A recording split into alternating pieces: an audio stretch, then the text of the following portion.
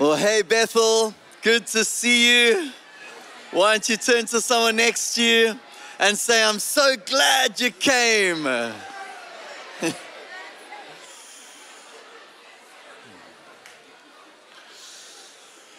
don't you stand with me as we get ready to go into worship?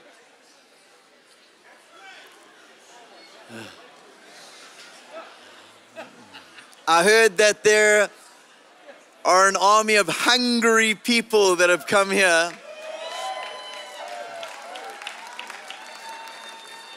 I heard that there's a group of people that aren't looking for entertainment tonight, but they're looking for encounter tonight.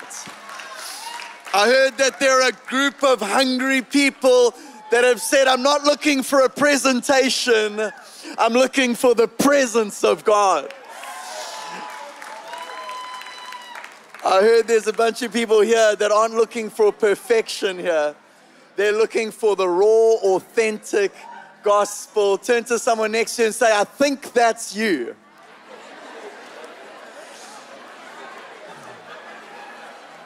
If you have come for the Open Heavens conference this week, raise both your hands and wave them as high as you can. Look at that. Church, look around. Look at that, eh? These guys have come for the Open Heavens Conference. I love it. I heard there's a group from Argentina. If you're from Argentina, give me a big wave. Woohoo! Come on. The fiery ones from Argentina. Are there any people from Brazil that have come for the conference? Oh, oh, there's some right there. Yes, me, me. You know what I love about Bethel Church? Bethel Church isn't about presentation, it's about the presence of God. This place is raw, wild, and I believe that this week there will be radical signs and wonders that will happen in this place that will reveal Jesus as the Messiah.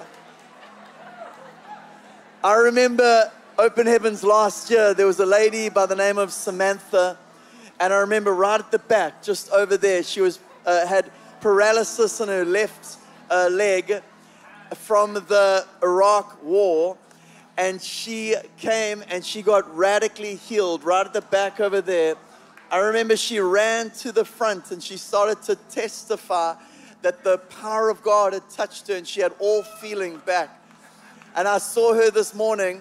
She said, You know what? I came, I did BSSM 1 I'm a first year and I have full feeling still in my leg. All I've been totally healed still. Let's give the Lord a clap like you can do it again.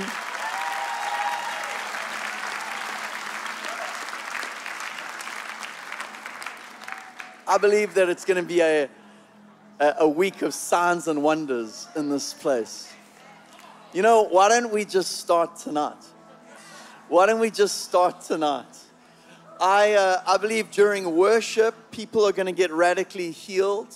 That where there have been ailments, where you walked into the building before, at the sound of the praise to the King, as Jesus' name gets shouted loud, as the name of Yahweh gets shouted loud and high, I believe that His presence would start to come upon people, and almost unknowingly, ailments would start to come off the anointing breaks and, and, uh, uh, and unlocks, but it's the glory of God. Sickness can't even dwell in that place when His glory dwells. And I can imagine, just, just imagine with me that in unity we start to link arms and we link voices, and in unity a sound gets shouted from this place unto Yahweh, unto Yahweh. And we start to shout His name and at the shouts of his name, he starts to draw near. And diseases start to get broken and healed. That backs that are in, in pain start to get healed. That hearts that are broken start to come into alignment and wholeness. That those that can't see God rightly and themselves rightly, they start to come in alignment with this King. Oh, Jesus, we haven't come for a presentation. We haven't come for entertainment. We've come for you. We've come for you. We've come for you, church. Give the Lord a shout. Just start lifting your voice now. Oh, every voice. Every voice. Just start lifting a sound. Just start lifting a sound in this place. Start lifting a sound in this place.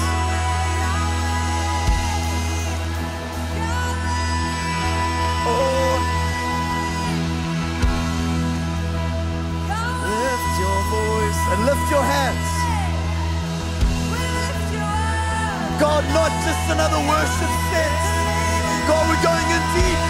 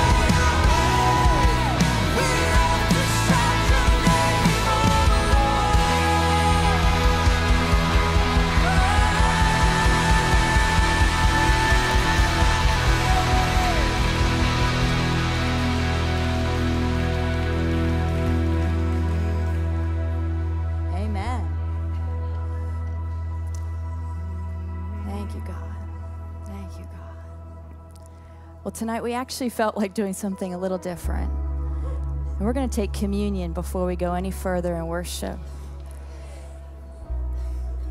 This whole month in September, we've been focusing on Sunday nights on worship, what it means to be a kingdom of priests unto the Lord, unto the Lamb. We're passing out communion. If you need communion, put your hand up. If you need the elements still. Thank you, ushers. Thank you, ushers.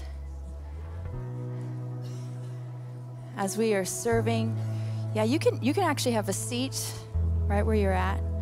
And I want you to actually get out your Bibles with the elements because we're going to read Hebrews 10 together.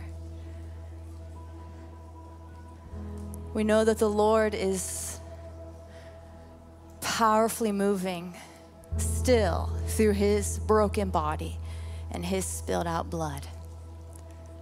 This morning, as a church, we received the communion to remember his sacrifice.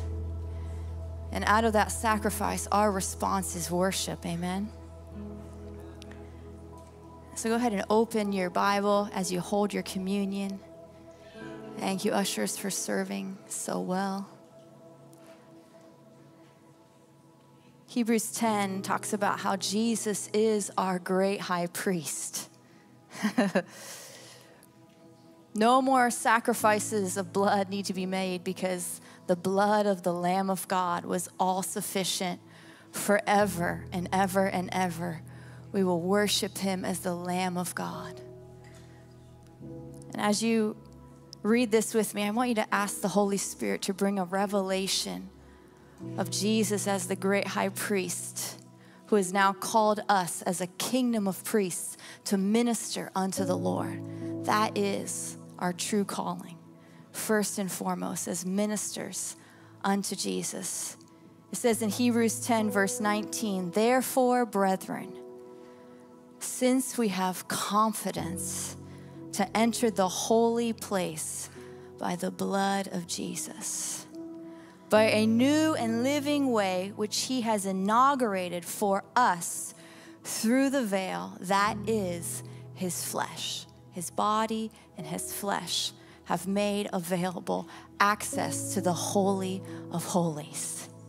Oh, church, the great high priest, King Jesus, has given you and I access to worship him in the Holy of Holies. There's no longer a veil. We're not singing for Him to come. We are singing from a place of Him indwelling inside of us. Amen. And since we have a great priest over the house of God, for we are now the house of God, let us draw near with a sincere heart in full assurance of faith having our hearts sprinkled clean from an evil conscience and our bodies washed with pure water. As we receive the Lord's Supper, the greatest supper we could eat today, we are reminded is that we don't come before him in worship because of our good works, because we've measured up, because we've done our church attendance, because we were perfect in the way we treated our family today. We come solely on the merit of the blood of Jesus. And today, if you have maybe wrestled in your flesh or you've wrestled with your identity, I want you to let the blood of Jesus wash over your mind, over your thoughts, over your motives over your actions. I want you to right now ask the blood of Jesus to cleanse you afresh and anew. Thank you, God. Thank you, God. Maybe you made some decisions that are hindering your conscience from truly worshiping tonight. And we're here to take communion to remember it is only by His blood, it is only by His body that we have access to the Holy of Holies in worship. So let Him cleanse you right now. If you need to give up a prayer of forgiveness towards someone, maybe yourself, maybe it's someone in your family, I want you to ask the Lord to give you the grace to forgive those that you need to release right now. Go ahead and do that. It doesn't, doesn't take long, just takes a moment. Thank you, God. Thank you, God. Thank you for your blood. I receive a fresh baptism of forgiveness right now. And I release forgiveness on those that I need to in my life. Thank you, God.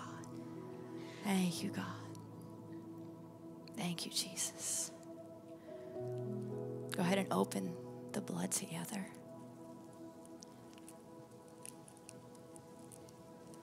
I want you to hold that before you. Go ahead and let's close our eyes together and just focus on the, the blood of Jesus as our great high priest that offered himself as an offering once and for all to not just cover sin, but to remove our sin.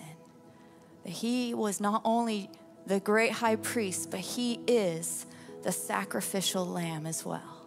He completed the whole temple in and of himself. So right now, I want you to just begin to thank him for his blood. Thank him for his all sufficiency. Jesus, we thank you for your all sufficient sacrifice.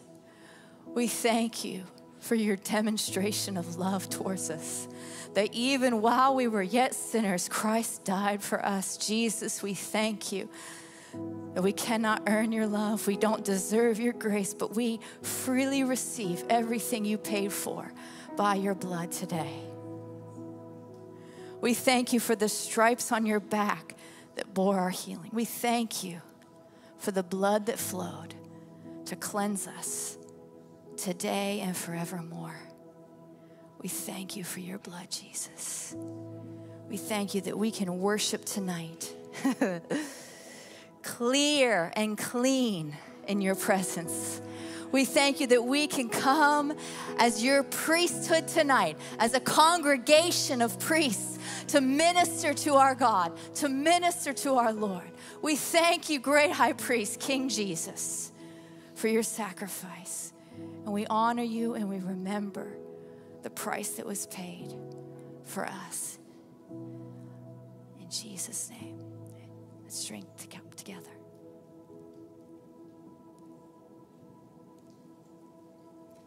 I know I did it backwards. I'm just reading from Hebrews. It works no matter the order.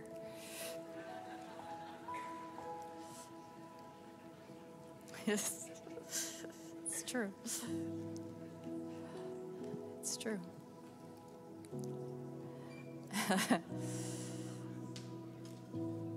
and remember, a new and living way he inaugurated for us through the veil. That is his very flesh. Go ahead and take this wafer. I know. I love that we just did that backwards. Thank you for your body. Want you, if you are sick in your body right now, I believe tonight, right now in this moment, as you receive the body of the Lord, there is healing for you right now.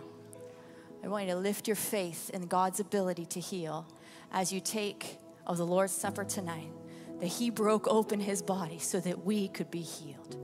He broke open His flesh so that every part of who we are, our emotions, our thoughts, and our very material body could be made whole in His presence. Jesus, we thank you. Go ahead and hold up His body. Jesus, we thank you that we could enter through the veil into the Holy of Holies because of the cross that was lifted up, that bore your body in the flesh, that was ripped to shreds, and that was given up as a sacrifice, as the Lamb of God laid before and bare before all of humanity. Jesus, we thank you for you are been ripped open so that we could be made whole. We remember your body that was freely given up for us. We remember the way that you opened a way to God through your body as the Lamb of God that was slain. Jesus, we receive your body into ours tonight. And we ask that you would fully restore those in this congregation and those watching online. God, we don't just ask for our own bodies, but for our families as well. God, that you would bring full restoration to your body, to our families tonight, God. We thank you for your sufficient sacrifice. We remember your broken body. We remember you walking through as the tabernacle amongst us, and your flesh bore the stripes. We remember tonight you are our great high priest. We receive everything you paid for in Jesus' name. Amen. Receive his body together. It says, For let us draw near with a sincere heart and full assurance of faith, having our hearts sprinkled clean from an evil conscience and our bodies washed with pure water. And let us hold fast the confession of our hope without wavering, for he who promised is faithful. And now we're going to go into worship, and we're going to worship as a priesthood unto the Lord because of his sacrifice. Go ahead and let's stand together.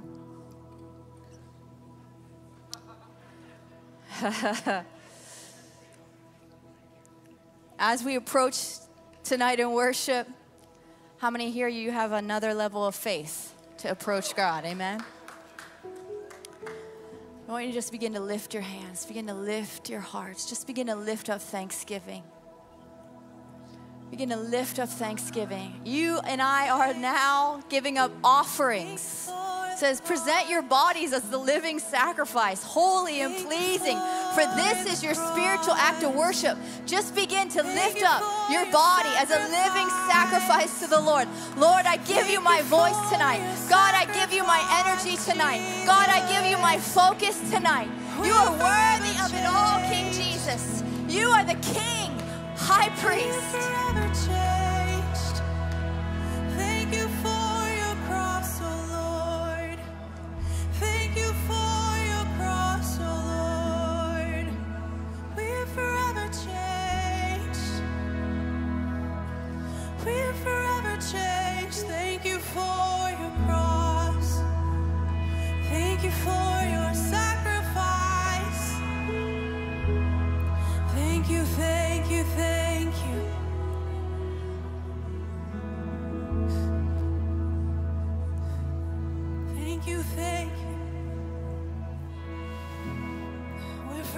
Changed by your love, Jesus.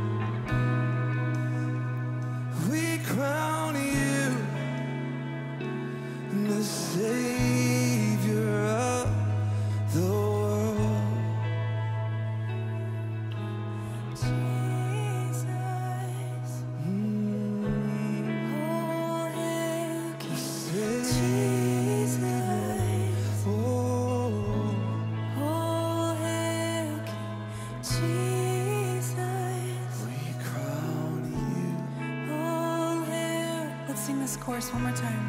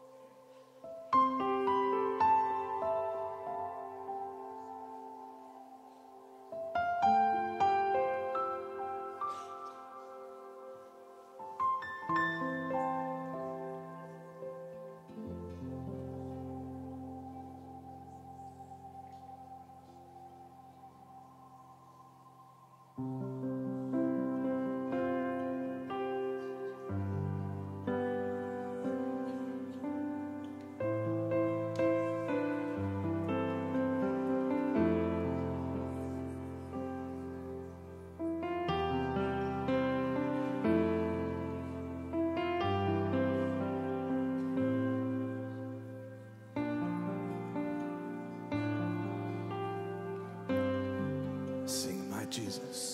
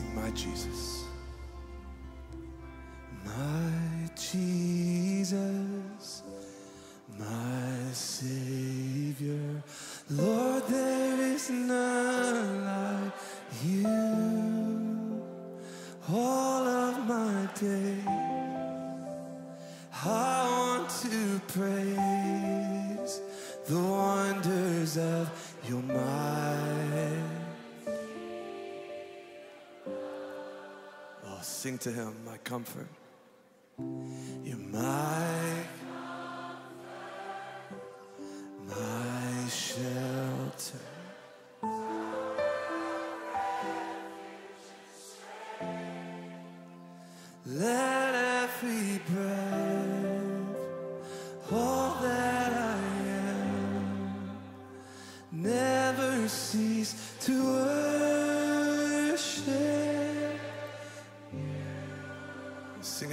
Sing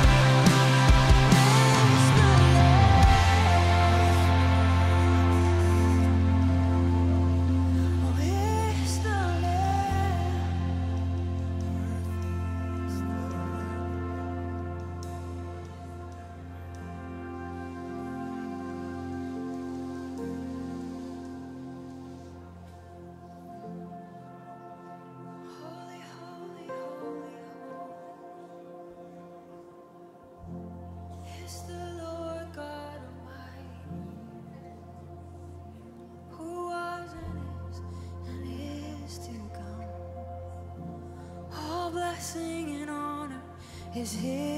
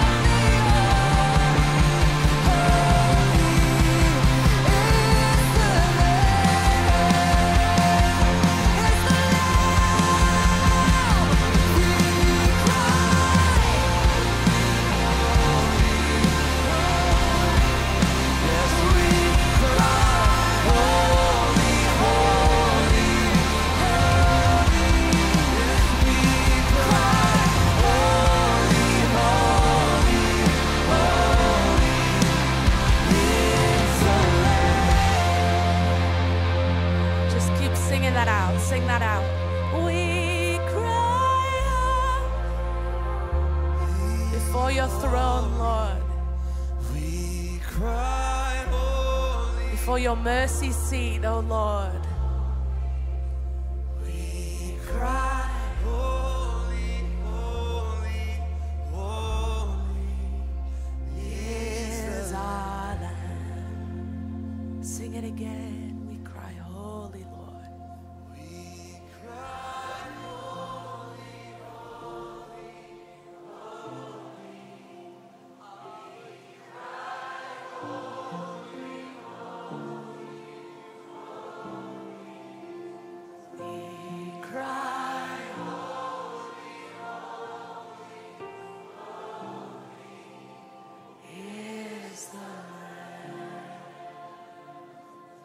You are holy, Lord. You are holy, Lord.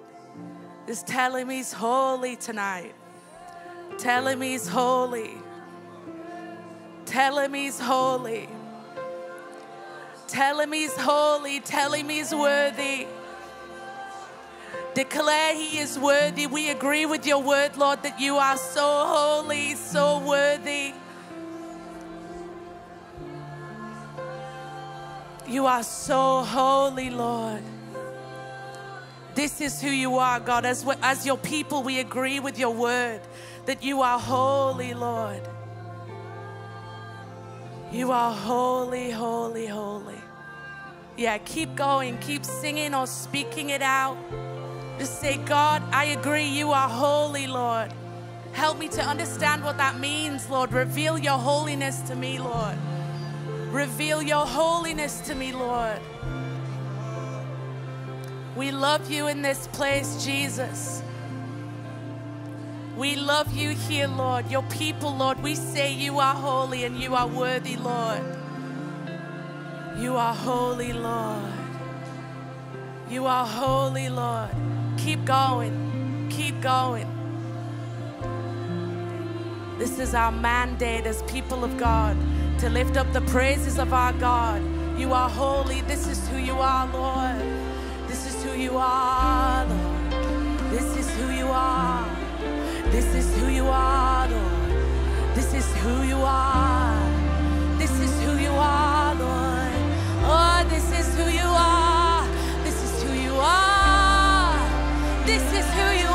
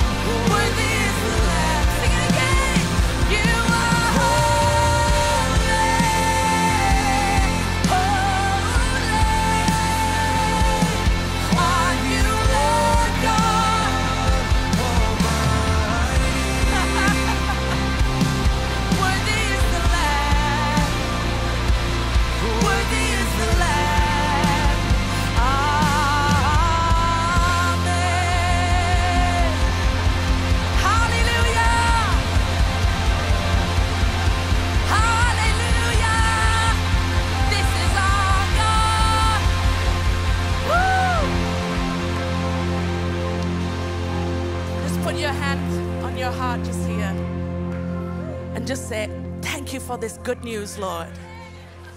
Thank you for this good news. Turn to your neighbor and say, This is good news.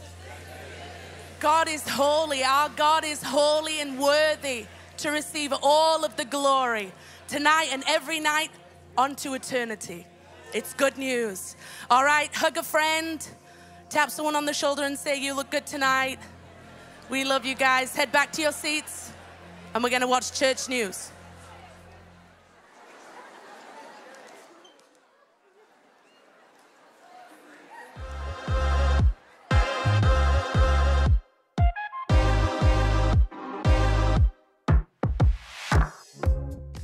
Hi, Bethel family. We have some exciting updates for you, but it's also uh, our last church news announcement.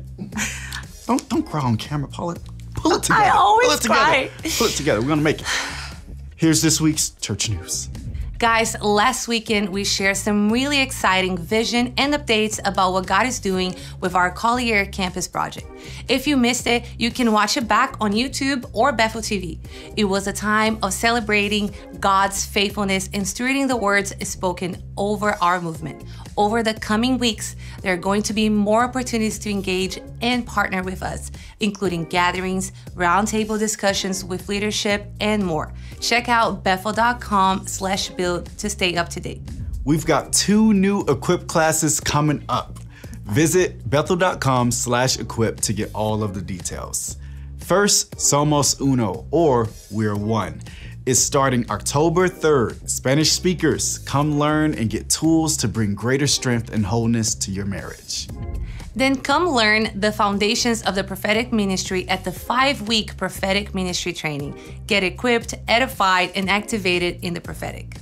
Love After Marriage is hosting a five day workshop November 6th through the 10th to help married couples experience breakthrough and freedom in their marriage. Listen, a thriving marriage is a marriage that's alive and well, and it is the best. Trust me.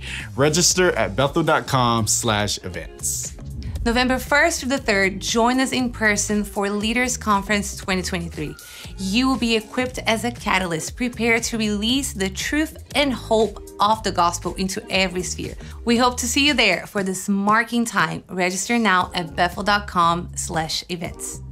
And that's it for this week's church news. Yes, if you missed any of these announcements, visit bethel.com slash church news to learn more. Have an amazing week. Ciao, ciao. right now in the Middle East, we're seeing a harvest like we've never seen before. I grew up reading the books and the stories mm-hmm. of Muslim background believers seeing a vision of the man in white. Now that's happening almost every day. People are just waiting. They're looking for truth. They're mm-hmm. they're they're desperate for for hope. And what's been done to, to their people, to their families in the name of Islam um, has pushed many people away and they're mm-hmm. searching and, and they're looking for, for the Prince of Peace.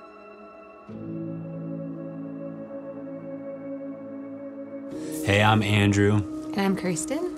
and we are missionaries to the Middle East. So, the Middle East has been a long story in both of our hearts. We've done missions since we both came back to Jesus, and we never thought it'd be the Middle East, to be honest. We thought it would be other nations, but it was as we went and as we started seeing the stats of unreached peoples in, in the Middle East specifically that the Lord slowly began to um, wipe away the fear and the misconceptions about the Middle East and gave us a heart for, for His people. Yeah, one of the things that the Lord is doing in the Middle East that we feel specifically called to is establishing a place of worship and prayer and a place of His presence. Um, and we've just seen time and time again where when you worship and when you break through the atmosphere with the sound of heaven, like darkness has to flee.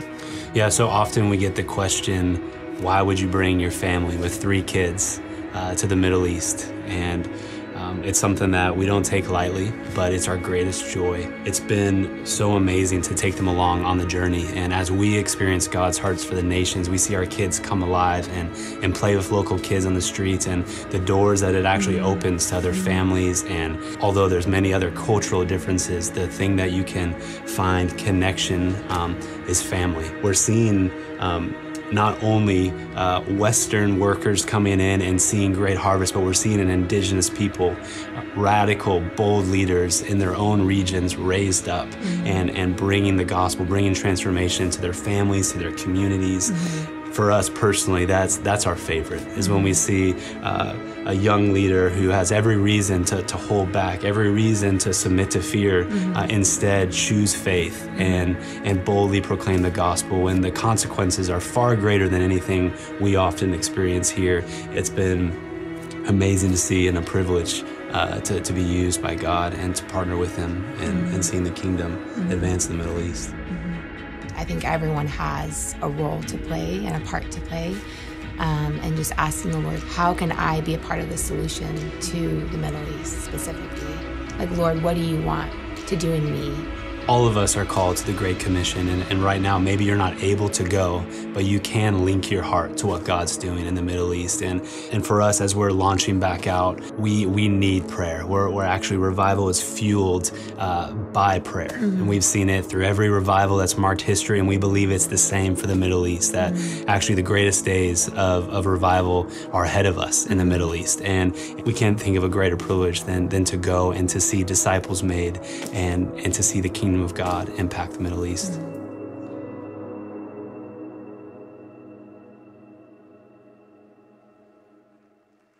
Hello, hello, hello. Good evening, everyone. How's it going? Woo! Fire. Um, my name is Alyssa Morris, and we have some other fiery pastors up here, Angelo and Ben. And we would like to welcome our first time guests. So if you are online, first time, hello, I see you. And if you are in person online, we would love in person, a first time guest in person, sorry, uh, we would love for you to stand up and just welcome you. So if you are visiting here for the first time, we would like you to stand. Thank you. Let's just give them a hand. Amazing. Amazing. And keep standing. If you are here visiting for Open Heavens, why don't you stand? You're visiting for Open Heavens. Why don't you guys stand? Amazing. Wow. Wow, wow, wow, wow, wow. So good. Well, I know we have a crew right here from Oxford. So I'm just going to prophesy over my crew right here. Simon, um, so much, so much fun right here. So why don't you guys hold out your hands?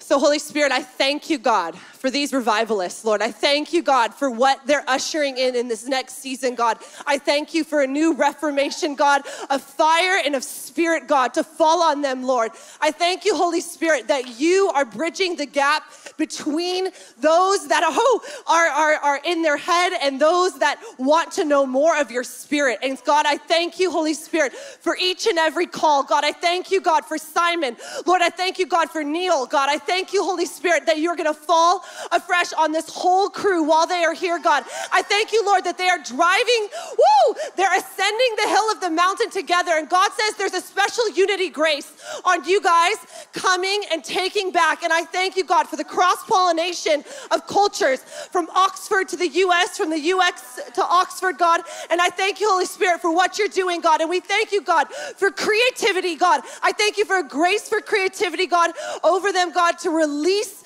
your fire and release your favor in the name of Jesus. Amen. Thanks, God. And again, if you're all the first time visitors, stand up. I just want to declare this over you. In Psalm 16 11, it says this it says, In your presence is the fullness of joy. And at your right hands are pleasures forevermore. And I want you to, if you're next to one of our first time guests, or even if you're here for open heavens, I want you to stand again and I want you to lay hands on them and just release fresh joy right now. Not even worked up, just God, that you would release joy, that you would cause joy from within to break forth, that any heaviness that you went through in this last season, any depression, that it would just, it would literally break out of you, that you feel the wells of joy springing forth in you. And we declare a new season, even a shift from this last season. We declare joy to spring up, joy spring up. Come on, release joy, spring up. Joy, spring up. Drink, drink, drink. God, we thank you that you say not to be filled with wine, not to be drunk with wine, but to be filled fresh with your spirit. In Acts 13 52, it says that the disciples were continually filled with joy in the Holy Spirit. We, we just declare right now a continual filling that your cup would be overflowing. We don't want you just full, we want you overflowing. If you're sitting down right now, just put your hand on your neighbor even and just say, Fill them, Lord. Fill them, fill them, fill them, fill them, overflowing. Overflowing. Overflowing. Woo! Overflowing. Thank you, Lord. And then I, as you, you can keep ministering, but I had a picture in worship when we were worshiping, and it was it was as clear as day. It was a horse running, and then instantly after I saw the horse running, I saw that that scene in Forrest Gump when he broke out of the the the leg um, like castings. Is there anybody in here that has like you have cast or some type of walking device on your legs in here? Anybody in here? I saw you just breaking out of those right here. Over here. Yeah, right there. Go ahead and stand up. Just lay your hands on them. Is there anybody in here that you have a passion to be able to run and you just can't run? You have some type of injury in your body. Yeah, go ahead. Stand up if that's you. Yeah, and if you can't stand, just keep your hand raised. We're going to pray for you. Just pray for them right now. Just declare over them that vision of them running like a thoroughbred horse, them running with strength. God, we thank you. We thank you, God, for the, the breaking out of the limitations tonight, the breaking out of the past tonight. We declare strength in your legs, strength in your legs, strength in your legs, strength in your legs right now. Strength, yeah, Boom. receive it. Yeah, we declare any lingering energy, injuries, any spirit of infirmity, any hopelessness in those areas just to go. Yeah, we declare healing in Jesus' name. Go ahead and test it out. Test it out. Hmm.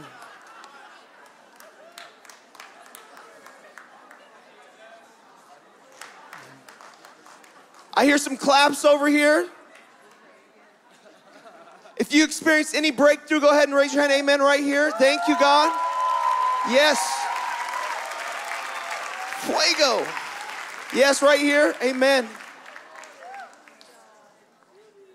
Well, it's just the beginning. I'm going to give it to Ben. Wow, God is good, amen. Miracles are breaking out already in this place. This is awesome. Uh, oh man, I feel the Holy Spirit. Um, I feel the Holy Spirit. That's good. I feel the Holy Spirit really strongly, which is an amazing way to do church. Oh, Jesus, we love you. I, I, I really do love my Argentinian brothers and sisters so much. Mas fuego en el nombre de Jesus. Amen. Why don't you guys just stand to your feet? If you're from Argentina and you're visiting, if we could get some of my team to gather around them. If you guys are around these fire breathers, why don't you just just just gather around them?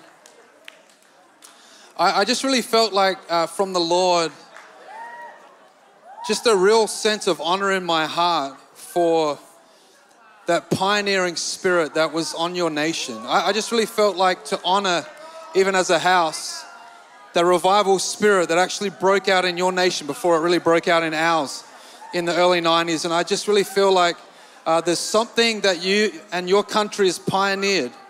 Uh, as you're coming back to receive from us, I actually believe that you're going to walk away with more than you can bargain for. I really believe uh, that the Lord is going to tip the tables. And as we've received the revival anointing in some way from your nation, I believe that there's fresh grace from our house and from our nation that's going to be released over you. And you're going to go back carrying fire to a degree that you've never seen before in your houses of worship. So if we could just as a company of people, just stretch out our hands toward them.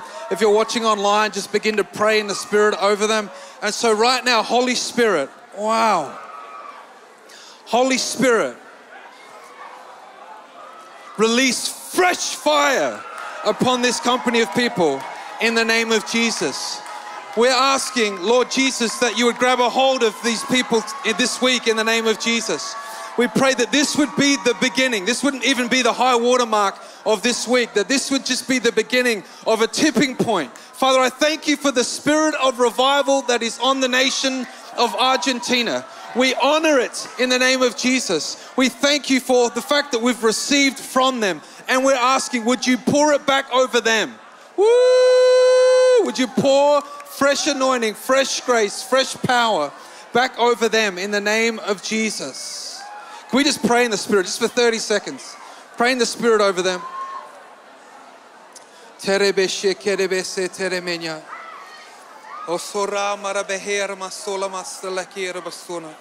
That's it out loud.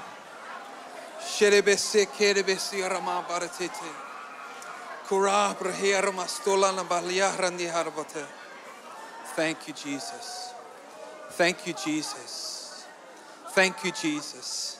Yeah, we just declare glory to glory, line upon line, precept upon precept.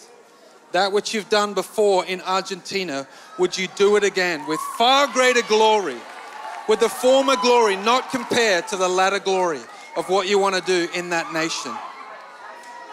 In Jesus' name.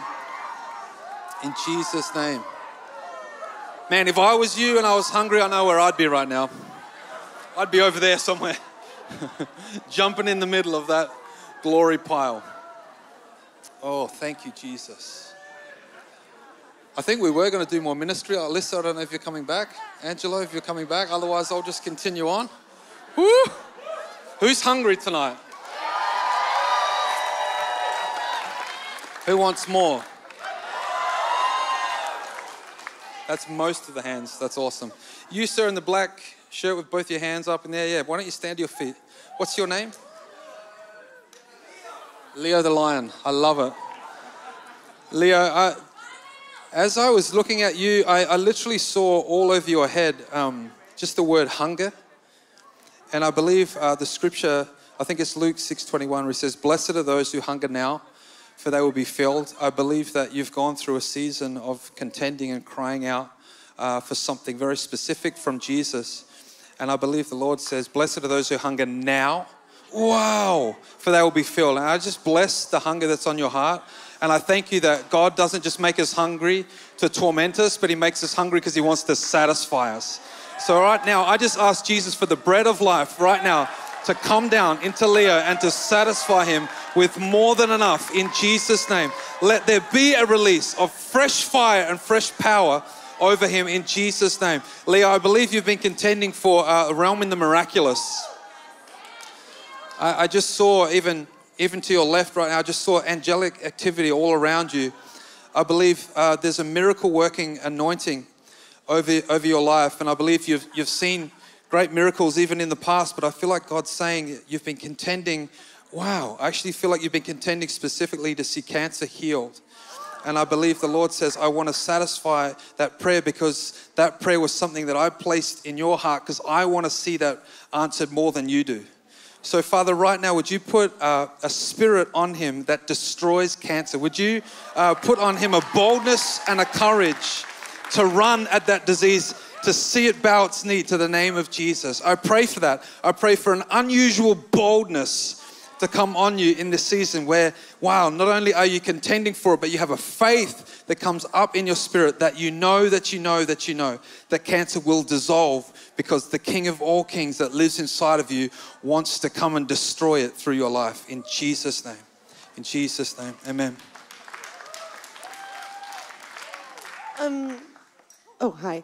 You guys are a family, I think. Um, you're wearing a New York hat, and then you're so the lady sitting next to you. You're wearing a jean jacket. You have two kids right here. You want to stand? Yeah. Amazing. Yeah.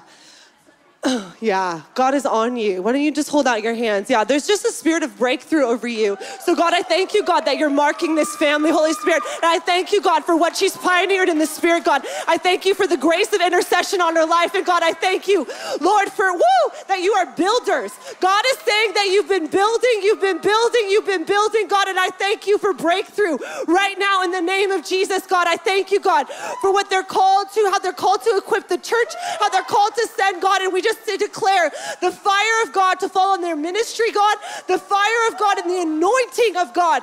Lord, I thank you for where they're going to take the gospel, God. I thank you, God, for where you're, um, how they're going to train people and send them out, God, and on missions, Lord. I thank you, Holy Spirit, um, for that fire. And I thank you, God, for keeping their kids safe. If those are your kids next to you, God, I just declare over your children that they will prosper and they will thrive in this season, God. And I thank you, Holy Spirit. Woo, we just declare fresh wind and a fresh refreshing, fresh wind and a fresh refreshing, fresh wind and a fresh refreshing. Pour out your spirit right now. Pour out your spirit right now in the name of Jesus. Thank you, Holy Spirit. Just put your hand on your stomach and say, More, Lord. More, more, more, more, more. More fire. More, more joy. Fire and joy. Fresh fire. Fresh joy. Fresh fire. Thank you, God. Thank you, Lord. Just take another drink.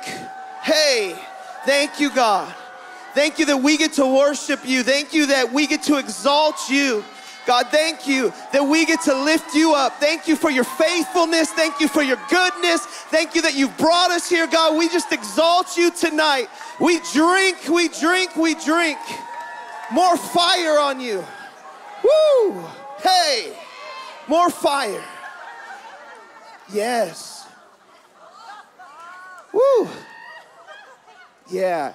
Yeah, if you feel real stirring right now, if, like you you just have a like a fire, just stand up and grab. I just feel that what Leslie was saying, and I saw something else tonight, like that that woman that pressed through and just she grabbed what she wants. She grabbed the hem of his garment. She was hungry. She didn't wait. She grabbed it. Go ahead and grab it tonight. Grab it. We grab. We reach through the inconvenience and we grab it tonight, Jesus. Hey, ba ba ba ba ba ba ba ba ba. Fire. Thank you, God. Thank you, Lord. Wow, there's just a real atmosphere. We thank you for breakthrough. God, we thank you for healings. I just feel ears popping open right now. Thank you, God. We grab it. I just check your eyes right now. Wow, thank you, Lord. Thank you, God. Yeah, we just declare, I feel somebody grabbed and your cancer's dissolving. Check your tumor. Thank you, God. Thank you, Lord. We just press through and we grab. Woo! Thank you, Lord. Wow. Woo! Wow. Mm. Yeah. I just really feel that you're gonna you're gonna continue. There, there's something available tonight, and it's Him. Just keep, even as we keep going tonight, just keep reaching and grabbing in faith, reaching and grabbing in faith. Thank you, God. Thank you, Lord. Wow. Stay standing just for a, bit longer. I, I feel it's very interesting that Claudio Freidzon is coming, and uh, I just feel really something really strong, obviously, on, on his ministry. And obviously, as we've been blessing what God's about to do in Argentina and, and already blessing what God's already done, I feel it's really interesting. Even the faith that I feel in the room right now is there's a electricity in the spirit, and and and I and I love what Mark's Claudio's ministry. Uh, a, a line that marks Claudio's ministry is, "If you want it, take it." And I just feel like there's just something available. And I feel like there's a reason that you're standing. I, I believe that there's something available. And I feel like if you want it, take it. It's there. It's there's something available in the spirit right now. So just for a moment, just close your eyes. Just close your eyes and begin to say, God, I want it. Whatever it is that that thing that stirring, that stirring that's inside of you that says, I want that. Just begin to ask the Lord. I believe it's something that's Mark Claudio and even that beautiful nation of Argentina. There's a faith anointing. And so just right now, just tap into the grace that's available. And I bless you to be as quiet or as loud as you want. It's not about volume. But if you feel like, oh man, I'm, I'm bursting on the inside, like I'm longing for this thing, that's okay for you to express it with yelling and screaming and shouting and running around the room if you want. It's okay to sit still and quiet and receive it. It doesn't matter. But I just bless you. I bless you right now to, to partner with the faith that you're feeling. Woo! That's it. Let it rise. Let it rise. Let it rise. God, we're hungry tonight. We're hungry tonight. We're hungry tonight. We're hungry tonight. Come and touch your people. Come and touch us with fire. Come, Holy Spirit. Release more. Release more. Thank you, Jesus. Thank you, Jesus. We really felt like there's something really special that's happening uh, with this Argentinian crew. And Dan Carnaval uh, is like a son of the Spirit to me. Um, he was one of my students, but also one of my third years, and is a mighty man of God. I really felt like um, that he was going to release something over us that we were going to receive from them. Is that okay? As we've blessed them, I believe that we're about to receive back something from them. Are you guys ready to receive, Dan? Um, well, I wasn't I wasn't prepared for this, but um, when we were in worship over there, uh, this random thought came to my mind. Um, I had the thought of if you had to say something tonight, what would you say?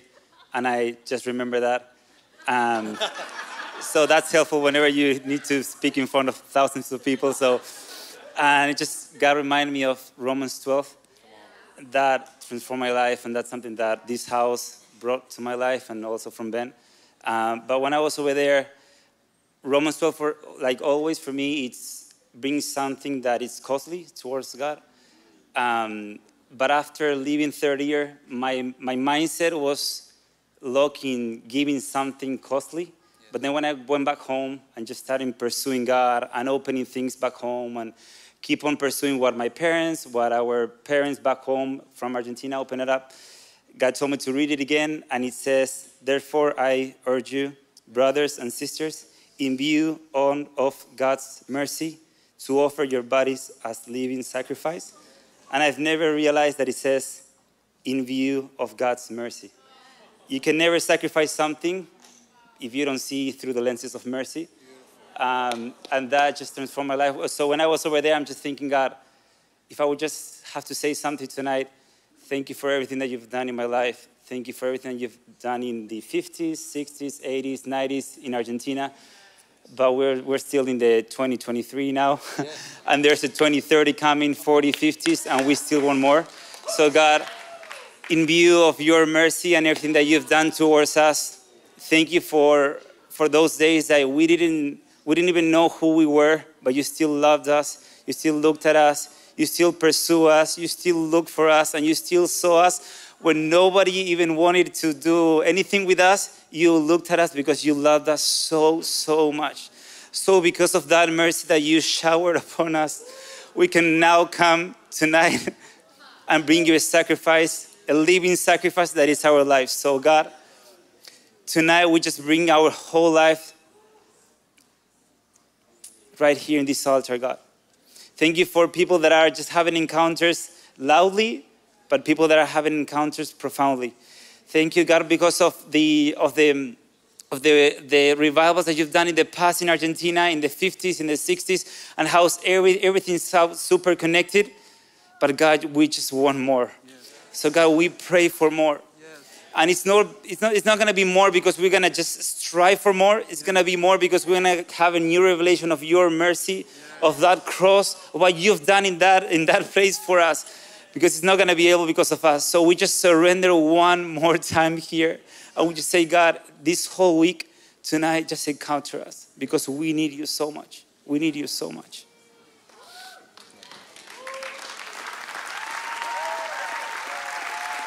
Oh, wow. Isn't church fun? Church is fun. Why don't you guys all stand to your feet? We're, gonna, we're actually going to lead in and take up an offering in a minute. we just gave our, our lives as an offering, so that's, that's good news. Uh, that means we get to enjoy the resurrection life that Jesus promised. Death is the doorway into life. Amen. Amen. Uh, well, guys, I just had one one simple th- one simple thought as we went into the offering uh, tonight. I, I just was so drawn to uh, John chapter 20, and then when it was still dark, that Mary went to the tomb, and it, it was just this revelation of the fact that Jesus Christ rose from the dead in the dark.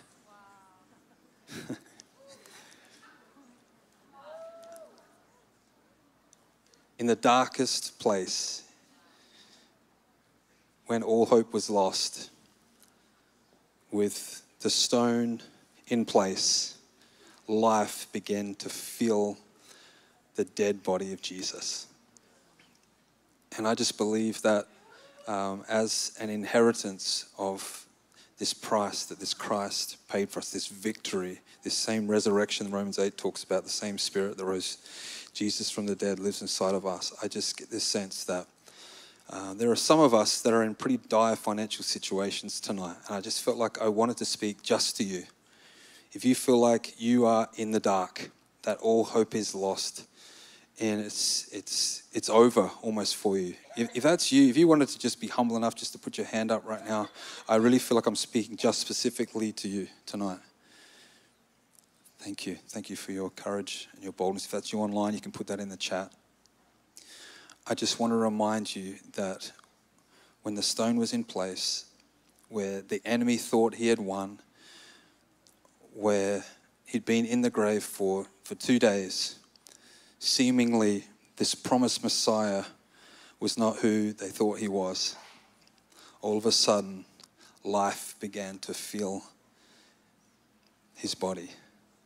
And so, just right now, if you're in a place where you need resurrection from the dead in your finances, it feels like it's that dark night, I just ask right now for resurrection life to begin to fill their bank accounts in Jesus' name.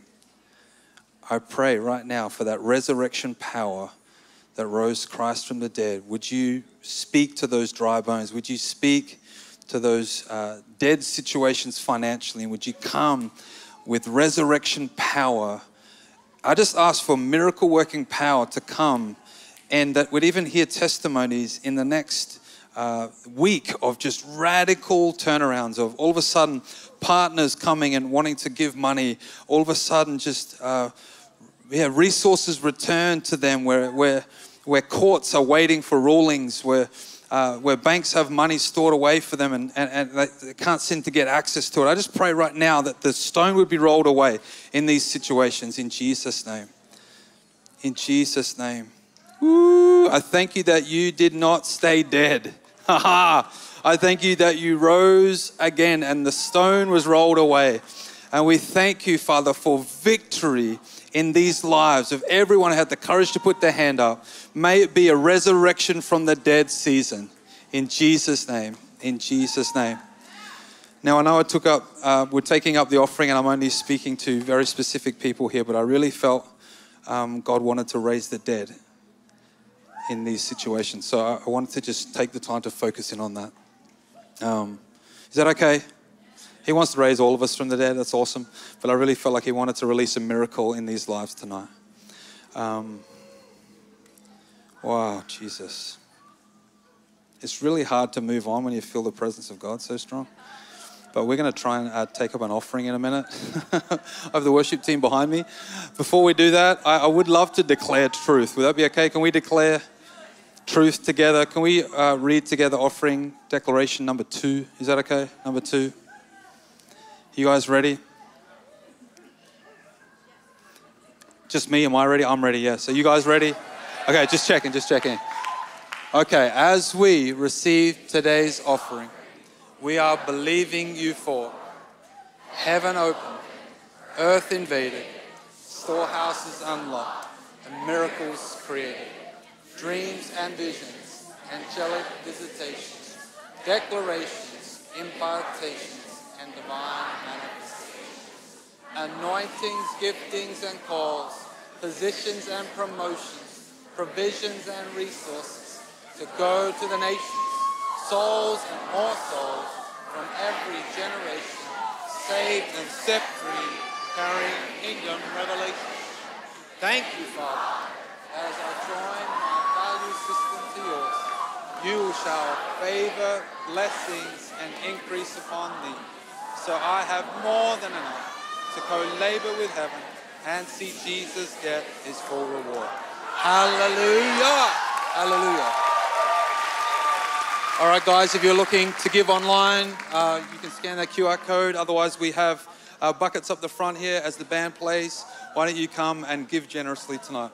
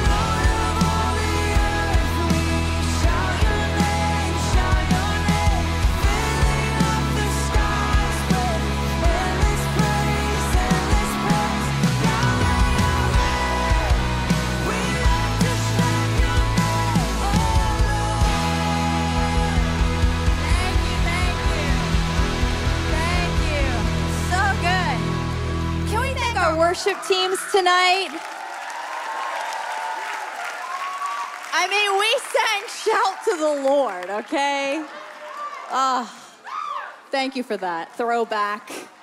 I felt like I was back in Lancaster, Pennsylvania in the 90s. I had a moment. It is a season of the old and the new treasures being brought out, so the old and the new. Whew. He's moving. If he's touching you, just just lean into that. Just lean into that. oh boy. Thank you, Holy Spirit. Thanks, God. Thanks, Scott. Welcome to Bethel Sunday night. We're glad you're here. We just thank you, Holy Spirit, that you are here with us. Well, tonight I want to introduce our speaker. If if they're just a normal speaker, we don't always do introductions, but this this is special because this is actually our Bethel worship pastor, and. Um, and we've been doing kind of a series on worship the last uh, few weeks, and man, I am so expectant for what Peter Mattis has to not just teach, but impart tonight. Will you please welcome a man after God's own heart, Peter Mattis?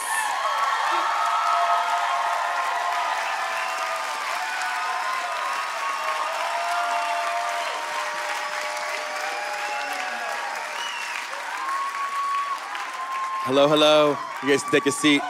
Woo, it's rowdy in here. I like it. I like it so much. Um, I'm gonna start. You probably can't see it. I'm feeling it. So if you, I just want to let you know what's happening a little bit. I was cleaning out my backyard um, this past weekend, and I don't know what I did. We filled up four truckloads full of brush. I was 10 foot high brush, and somehow in there I got. Um, oh, Desi's already coming in. There it is.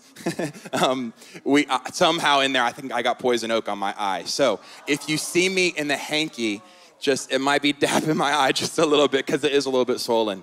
Um, I was a little toad yesterday. Honestly, I was swollen up and I like could see the bottom of my eye. And anyway, we're good now though. But just just in case, it could also be the Lord. Also, I'm from the South, so I've always kind of wanted to have that hanky. I grew up in inter- interdenominational church, and some people start running. that could happen tonight. This is my wife. She gave it to me, so I feel like a little, you know, I'm carrying her with me. My beautiful wife, Claire's home. We're about to have a little baby girl in about three weeks. We are so, so excited. We have um, a little boy named Benjamin Shepherd. He is the absolute cutest little nugget in the world.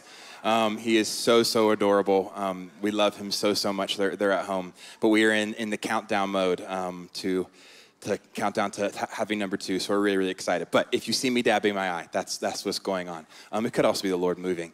But um, I'm, I'm really expectant for tonight. I feel, I feel really, I feel the Lord in the room. That's a good thing. Hey. Um, yeah, Desi, can you go ahead and prophesy?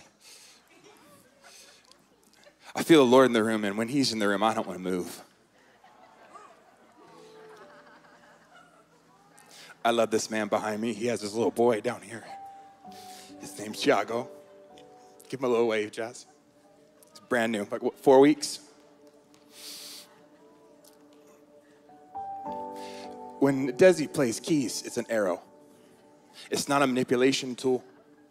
It's not a Hollywood emotional moment to get a rise or a charge out of you. It's an arrow. David played his heart before Saul. And it was an arrow in the spirit. And it launched into the deep things. And I feel like tonight, I have like probably five or six pages of notes, and I actually do feel like I'm supposed to teach. But more than me teaching, way more than me giving you tools, which I want you to have. I want you to have a face to face moment with the Lord. If you were here at our encounter night a couple weeks ago, I talked about this, but with my life, if I can be a servant and I can set up, sorry, feel the Lord. If I can set up a table between you and the Holy Spirit as a worship servant, and in the worship moment, you come and get your seats and you know, you get situated and you, and you feel them close. If I can be a server or a waiter that serves the food at the table of you and the Holy Spirit, I say, You good? You good? You got what you need? You got what you need? Great. And you forget that I'm here. If I can serve you tonight, that is my heart's cry. That you wouldn't leave tonight saying, Oh, what an amazing word from Peter. That you would say, you would leave tonight and say, Oh, I saw Jesus. More than anything else I can give you, more than the practical teaching which we need. If you can see Him and you can minister to Him tonight, it'll be an arrow. If you're not a musician or a worshiper, it's fine. You're a royal priesthood. You actually are a worshiper. You're a worship leader, you're a priest. First Peter says you're a royal priesthood. Haley talked about it last week. Whatever you're doing, if you do it unto the Lord with all your heart, your soul, your strength, stay at home, mom. Stay at home, dad. Working out in the courts or in the hospitals or in education system or in the political system, whatever, whatever it is, an Excel form before the Lord, if you do it with the position of worship in your heart, a fragrance will fill that Excel form. I promise you if you can do it with worship in your heart, that anything you do is done unto a fragrance unto the Lord. It's incense rising day and night, night and day. I'm just working my nine to five, Peter. No, no, no. It's more than that. Because it's not just what you do, it's who you're ministering to. I don't care if you're a musician, I don't care if you're tone deaf in this place tonight. It doesn't matter to me because you have been commissioned as priest to bless his name. Tonight, I hope you get messed up, not by me, but I hope you get messed up and become addicted to the smile of Jesus. Because when you feel his smile, when you see his eyes, everything pales, everything bends its knee every circumstance you're in, whatever is happening in your life, whatever the impossible situation that you're facing, every single wall collapses under the presence and the light of His glory and His grace. His smile is over you tonight. So tonight, if you need to stand, and you need to sit, you need to come up here. You get with him because way more than you hearing my words, I want you to hear his words because he has the words of life. Where else would you go? What else would you do? He has the words.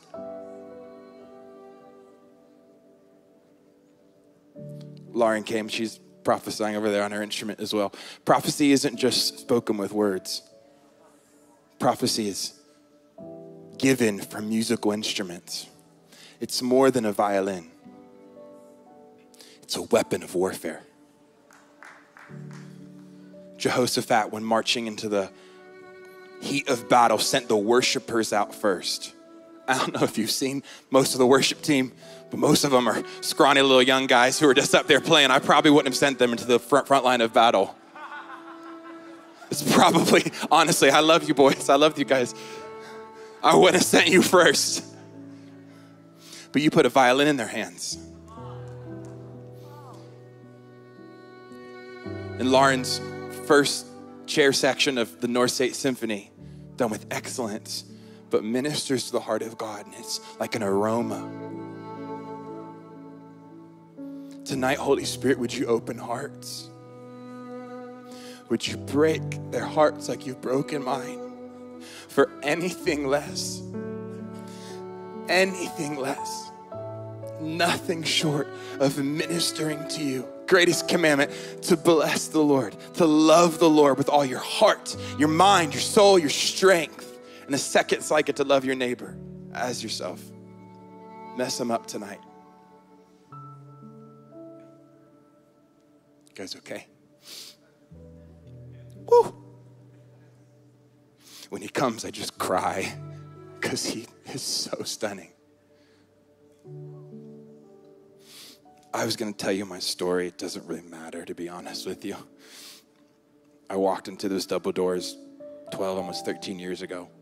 Fell on my face because I heard a sound of worship. I grew up in the Vineyard Church. It was wild charismania. Honestly, it made some of our church services look tame. How many of you know I'm talking about, right? I grew offended from the Lord. I drifted away from Him. I drifted into the world. I knew in my gut that He was real. I'd seen too much. I'd seen people get out of wheelchairs. I'd seen the deaf hear, hear. I'd seen the blind see. I played hide and go seek among people slain in the spirit. My dad was a vineyard pastor, and it was wild. Bill came to our church in the 90s. Randy would come. We traveled with Randy Clark. But I grew away from the Lord because my heart grew cold. Because I didn't see the real Jesus behind all the human flesh. And I needed to find him. I need it had to be real. It had to be real. My friends convinced me to come to Bethel. I knew about this place and I knew what you crazies did. I was not happy, but they convinced me to come. I got in the car in San Francisco. I had shut down anything of the Holy Spirit in my life. I got in the car of a 95 Honda Civic that barely ran, student life. And I sat in the back seat and my hands started vibrating and I knew what it was. And I was not happy. I thought I had fully capped it and contained it so my friends didn't know, but now we've had a conversation like, oh, we knew Peter what was going on. I was like, okay.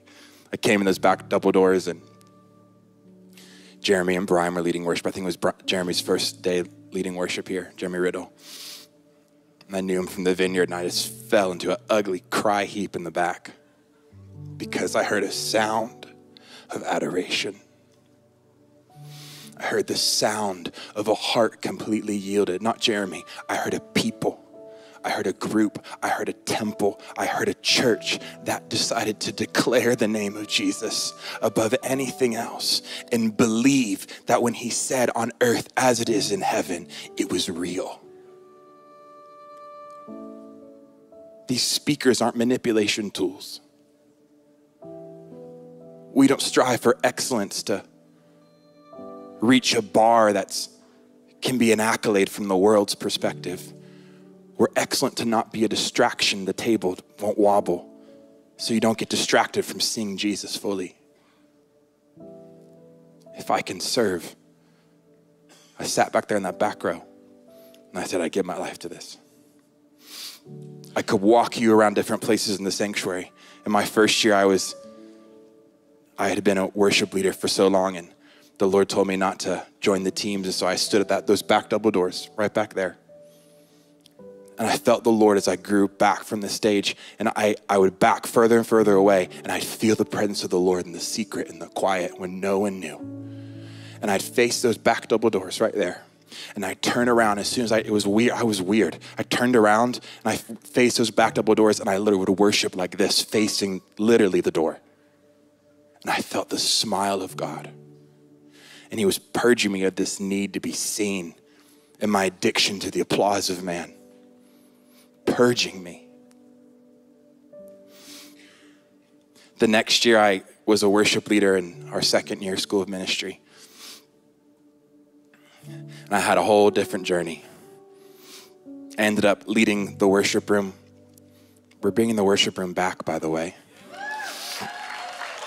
If you don't know what the worship room is, um, it was Bethel's expression of worship and prayer, adoration and praise. It was Benny's heart. I worked with Benny for four or five years, helping oversee um, our community of wild worshipers who had had sets at 5, 6, 7, 8 a.m., 11, 12 p.m. at night. We had bluegrass and gospel and you name it. We had all sorts of different kinds of sound. We had 29 different sets, I think, at, at the beginning. I don't have a need to bring it back there, but I do have a need to set an altar before the Lord where the only agenda is ministering to Him. I love leading you, it's a privilege of my life. But I want to create a space where the only agenda is ministry to Him. The only reason you're in the room is to bless His name and to adore His name.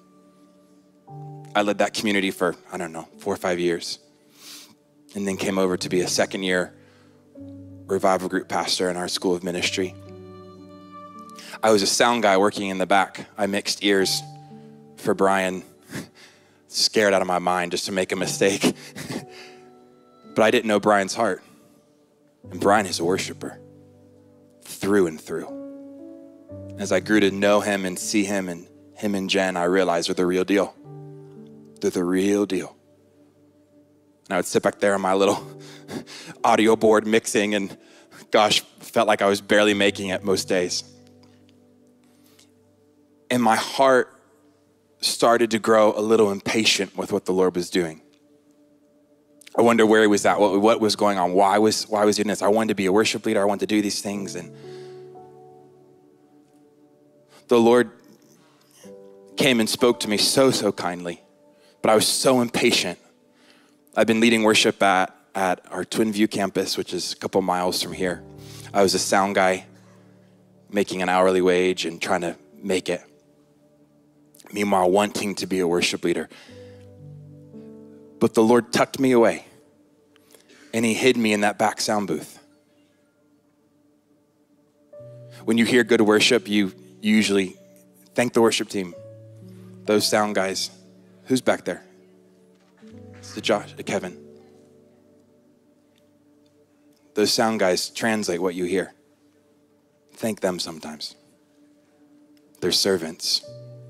And I think in heaven is going to pay attention to the servants where you don't even know their name. A lot more than we do. Love you guys. But I sat in those back dark sound booths. No one knew who I was. I plugged in cables at 12 midnight. I remember sweeping the stage with Jordan DeMarco, if you know who that is. He's, he and Christine are some of our dear, dear friends. I think it was 11 p.m. and we were sweeping the back of the stage. He was in school over at Simpson, and I was a sound guy, and I'm like, "What the heck are we doing here, bro?" And he's like, "I don't know." And we're just like sweeping and mopping the stage. Literally 11. It was not glorious. Honestly, it was not glorious. I'm like literally mopping the stage, just like, "Oh, what is happening?" My life started blossoming in, in terms of like pastoring and preaching, and suddenly I was getting invitations to go speak different places. It was amazing, but in worship, it wasn't going anywhere. And in my heart, I wanted to, to lead. The Lord was purging me of this, of this craving desire to be seen in front of people and hear the applause of man. He was purging it out of me. I wasn't very happy about it, but He was. But I remember telling about probably five or six years ago now, I remember telling my wife and my friends and people around me and my, parents back home, I'm like, you know, I, I think I'm just going to lay worship down. I think I'm just going to be done.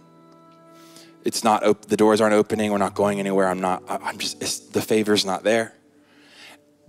And I felt good about it. It was like my heart was actually tender before the Lord, but I couldn't hear and see his face. I couldn't hear his words. And so I waited a couple weeks. I remember sitting with the Lord in one of our services. I sat in the back. I was like, God, I'm just going to give it to you. I don't need this. I don't want it to get in the way. I don't want it to be a distraction. And he said, Peter, have you asked me how I feel about it? I went, Well, not really. and he said, Peter, if you stop leading worship, I'm going to be grieved. Flip. It changed everything. I didn't need to lead for a crowd, I didn't need to be seen by people. My addiction to the applause of man melted when I really saw him. I would love to say everything changed in a moment, but it didn't. Years went by. And I chugged on my little guitar, plugged in chords in my back little back sound booth. Today, I don't know your story, and we're going to jump into the word here in a second, but I feel like it was important for you to know a little bit of mine. When Jenn and I had a conversation, we sped walk around her house. If you know Jenn, she speed walk. we were we were probably middle of summer, speed walking around her house, and we were chatting, and she said, "You know, what do you want to do?" And we were chatting back and forth, and with all my heart, gosh, I don't even know if I want this job. It scares me. I think the moments when we realize that we don't actually want something, many times is the times the Lord gives it to us. I don't feel ready. I don't feel equipped. I don't feel prepared. I don't, I don't, I don't. And He says, I can work with that. Today, I don't stand before you. Tonight, I don't stand before you with someone who has it all together. You Oxford guys can probably correct me when I'm about to teach later on. Hopefully, not that much, maybe a little bit.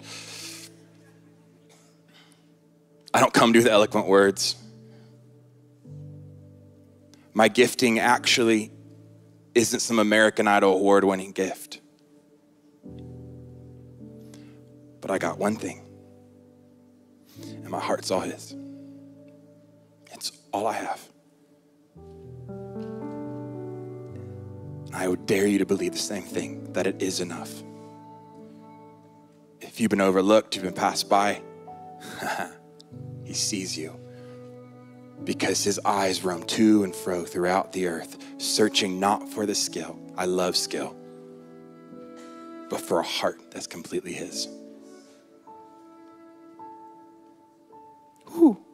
How many worshipers like you would like you would like say like I'm a worshiper. I, I know everyone's a worshiper, but like you're like a musician, or you're a musician, or a dancer, or a like painter, or like a creative in some measure. Let me see your hands in this room.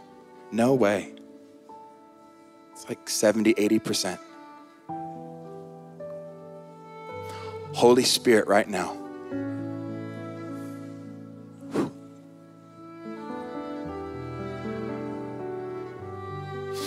Holy Spirit, right now,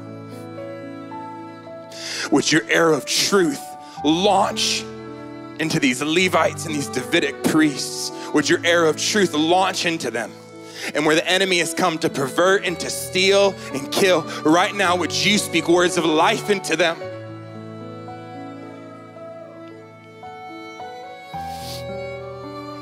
If you're a dancer in this room, can you raise your hands? Would you stand up? Woo.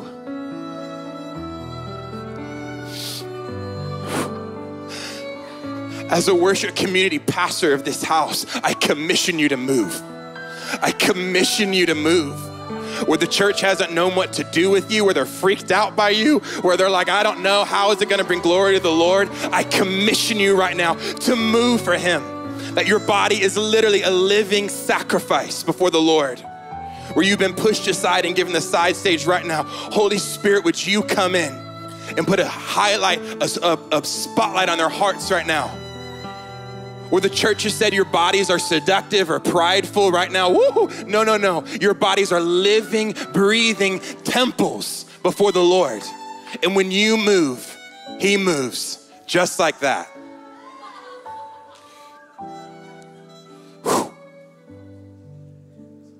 You're a painter in this room, can you stand up? Yeah.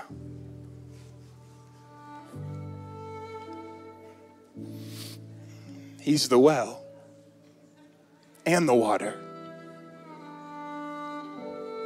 He's the well and the water.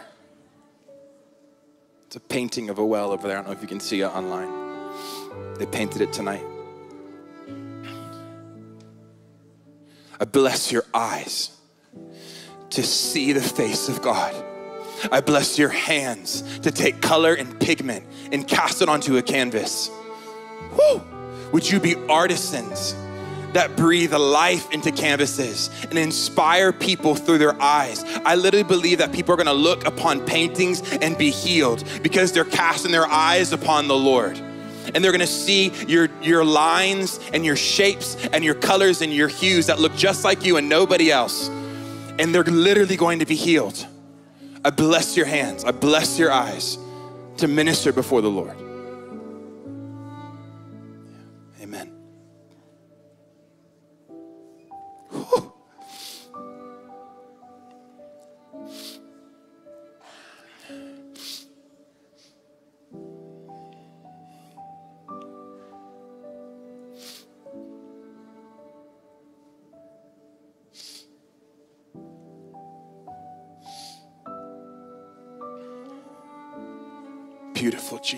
Love you.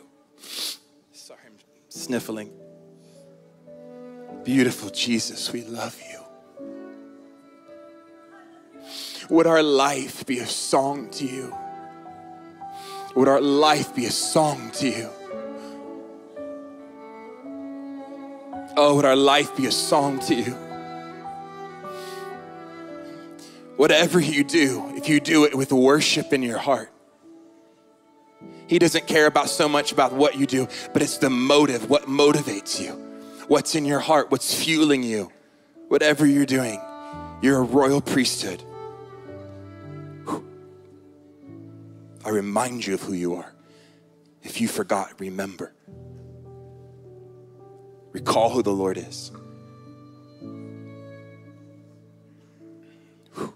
Okay, I'm gonna attempt to teach for a little bit. You guys okay?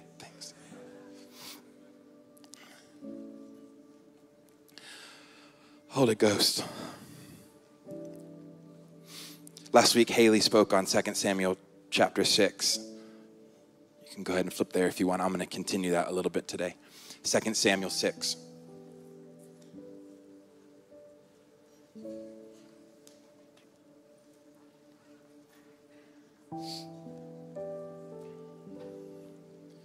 Over the past year and a half, I have become obsessed with David's tabernacle. I can't move past it. And within about the past couple months, I've been talking to my friends and I'm realizing I'm not the only one. I believe the Lord is doing something in our midst. And I believe it comes back to worship. I understand I'm the worship community pastor and it's my thing. It's like, you know, the soccer coach says, soccer is life. I understand that.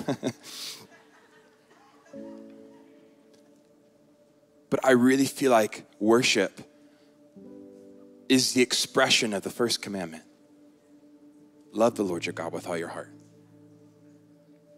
Everything comes up under that. Everything. Before we jump into the scripture, let me give you a little a little background story. You guys okay? Holy Spirit, keep moving. In 2 Samuel chapter 6, I'm going to continue just a little bit what Haley did last week. If you, how many were you here last week? Let me see your hands. Okay, great. But, oh, not okay. Maybe 40, 50 percent. In 2 Samuel chapter 6, the Ark of the Covenant has been outside of Jerusalem. Pause for a second. The Ark of the Covenant was the intersection, the convergence of heaven and earth. It was the very presence of God. It was a box. And on top of it were the cherubim, gold cherubim that had wings that were pointed together like this. And they faced each other. And right in between those cherubim was the mercy seat of God. And that was the literal dwelling place of the Lord. If you go author, I, I, I could literally have trainings on this for weeks and weeks. I'm gonna try to condense it. But if you go back to old Levitical and Exodus law, you, you can see in there all the different, like so many laws and rules to, to protect and uphold. Everything was under reverence. Everything was under the purity of the heart. Everything had a rule and a place, and everything had an appointment. Everything, every detail. We serve a detailed God. He's not just interested in your abilities and what you can do for Him, He's interested in every detail of your life.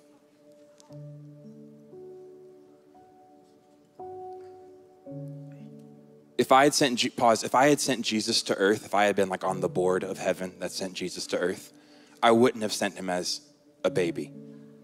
I would have sent him as a 30 year old who came in and prayed for people, healed, bam, bam, healed, blind eyes, open ears. But he didn't. He came as a baby. Look, Little Tiago over there. Pooped and peed and smelled. About to go back into that world. that tells me that the Trinity has a value for human life in every little detail, in every little moment. And if we relegate worship only to this room, then we miss the presence of God and the changing of diapers. We miss the glory of God as you see a sunrise as you're driving to work to hit your nine to five. You miss the glory of God when you have a little cup of coffee and steam is rising off of it. And you see his nature in the steam like a spirit. He's not the steam, don't, don't get weird.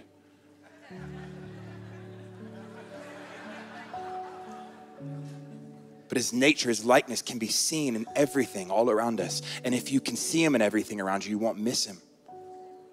His nature is it's everywhere around us all the time. And we reduce it to ministry moments in this room. Bummer. He's everywhere, all around us. And you are a worshiper. I don't care if you've been told you are tone deaf. I don't care. But if we can see the Lord and the dew on the drops of grass in the morning, I was out in my backyard this afternoon picking tomatoes with my little boy. And I said, God, what do you want to talk about today? He's like, I want to talk about this. I was like, what? He said, tomatoes. I said, tomatoes? He said, tomatoes. I'm like, why? Because they, they smell like me. Probably can get tweeted on this. The nature of God is found in everything all around you. And if you reduce him to this room, you've missed the manifold wisdom and perfection of beauty that is surrounding you all the time. Get caught up in worship, get caught up in him. When your kids are yelling at the, at the kitchen table and you're stressed out of your mind and you're just trying not to fry the thing you're cooking or burn the thing you're cooking, everything's yelling around you, and you pause for a moment and you turn your heart and your affection say, Bless the Lord, oh my soul, in the midst of the "Wah!" right? And you turn, bless the Lord, oh my soul, and forget all his benefits. And suddenly you remember the benefits of the Lord because he's so close, because he is Emmanuel, he is God with us, and he is omnipresent and everything all around us. You can't separate him, you can't pull him apart. He's in everything. He came as a baby to show us that he loves your life and your life is worth living. I don't care where you're at, young or old. Your life is worth living. And He has a plan and a purpose and a destiny for you. And He is in every little detail, like He was in the, the details of Moses. Whew.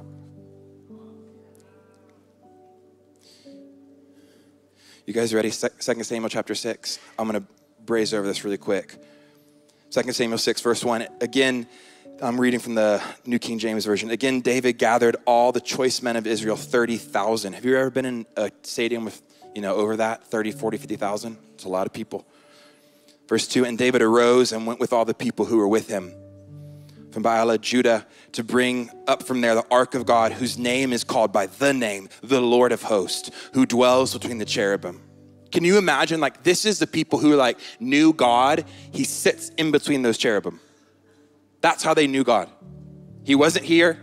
He wasn't around them. He was he sat in on that ark. That's how they knew him.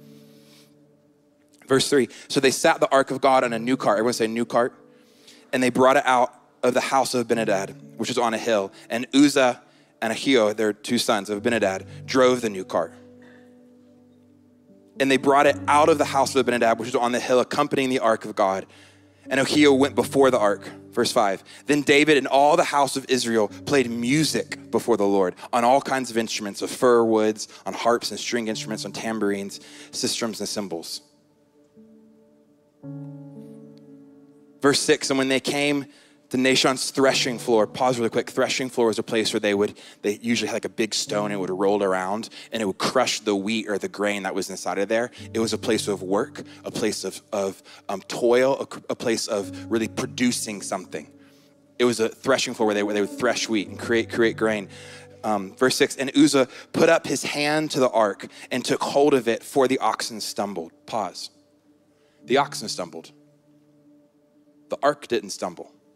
The ark wasn't falling. The oxen stumbled.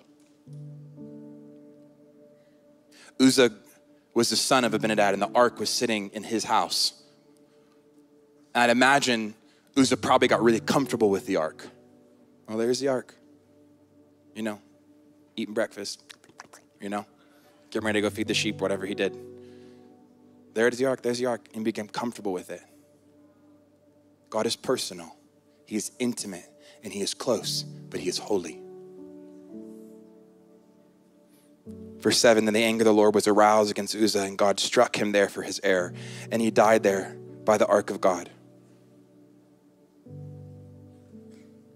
If you don't know the nature and the teachings of what happened, you could see this and assume God is cruel and distant and angry, upset, vindictive. You could assume a lot. Come on, be honest with me. How many people in this room read that and have a hard time with that verse? Come on. Am I the only one? I see those little tiny hands. It's fine.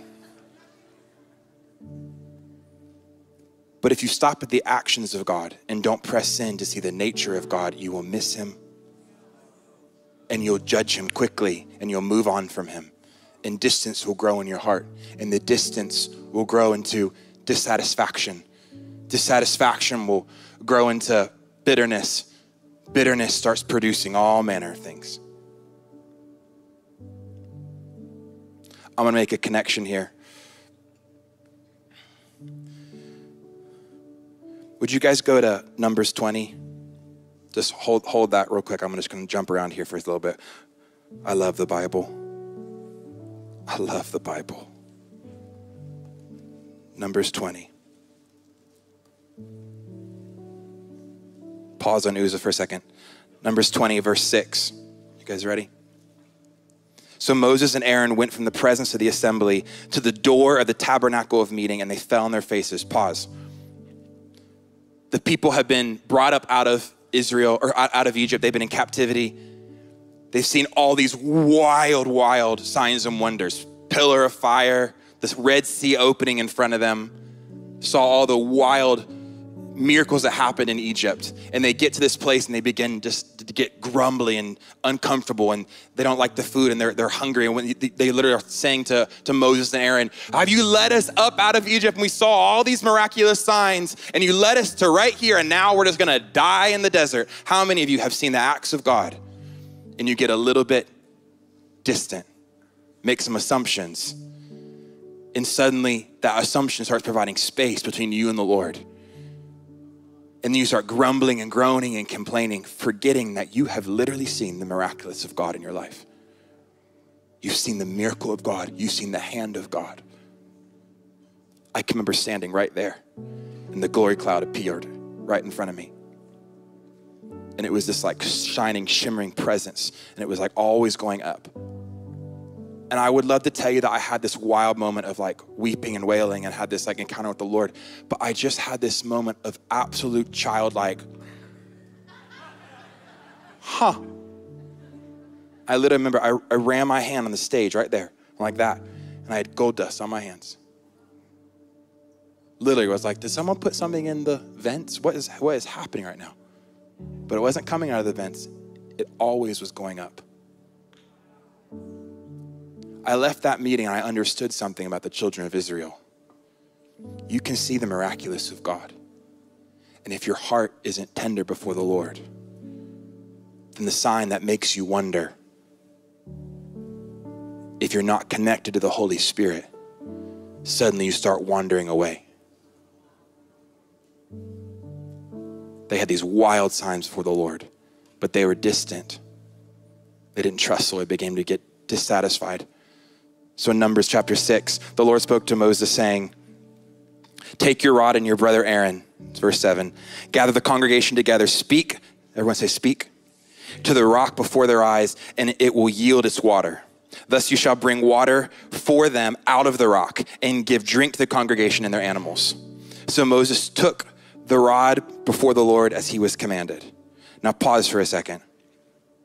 In Exodus 17, the Lord said a really similar thing, and he told Moses to strike the rock, and he did, and water flowed from it. But Moses and his frustration, or we don't know exactly all that was happening in his world, but with the people grumbling, the Lord told him to speak to the rock.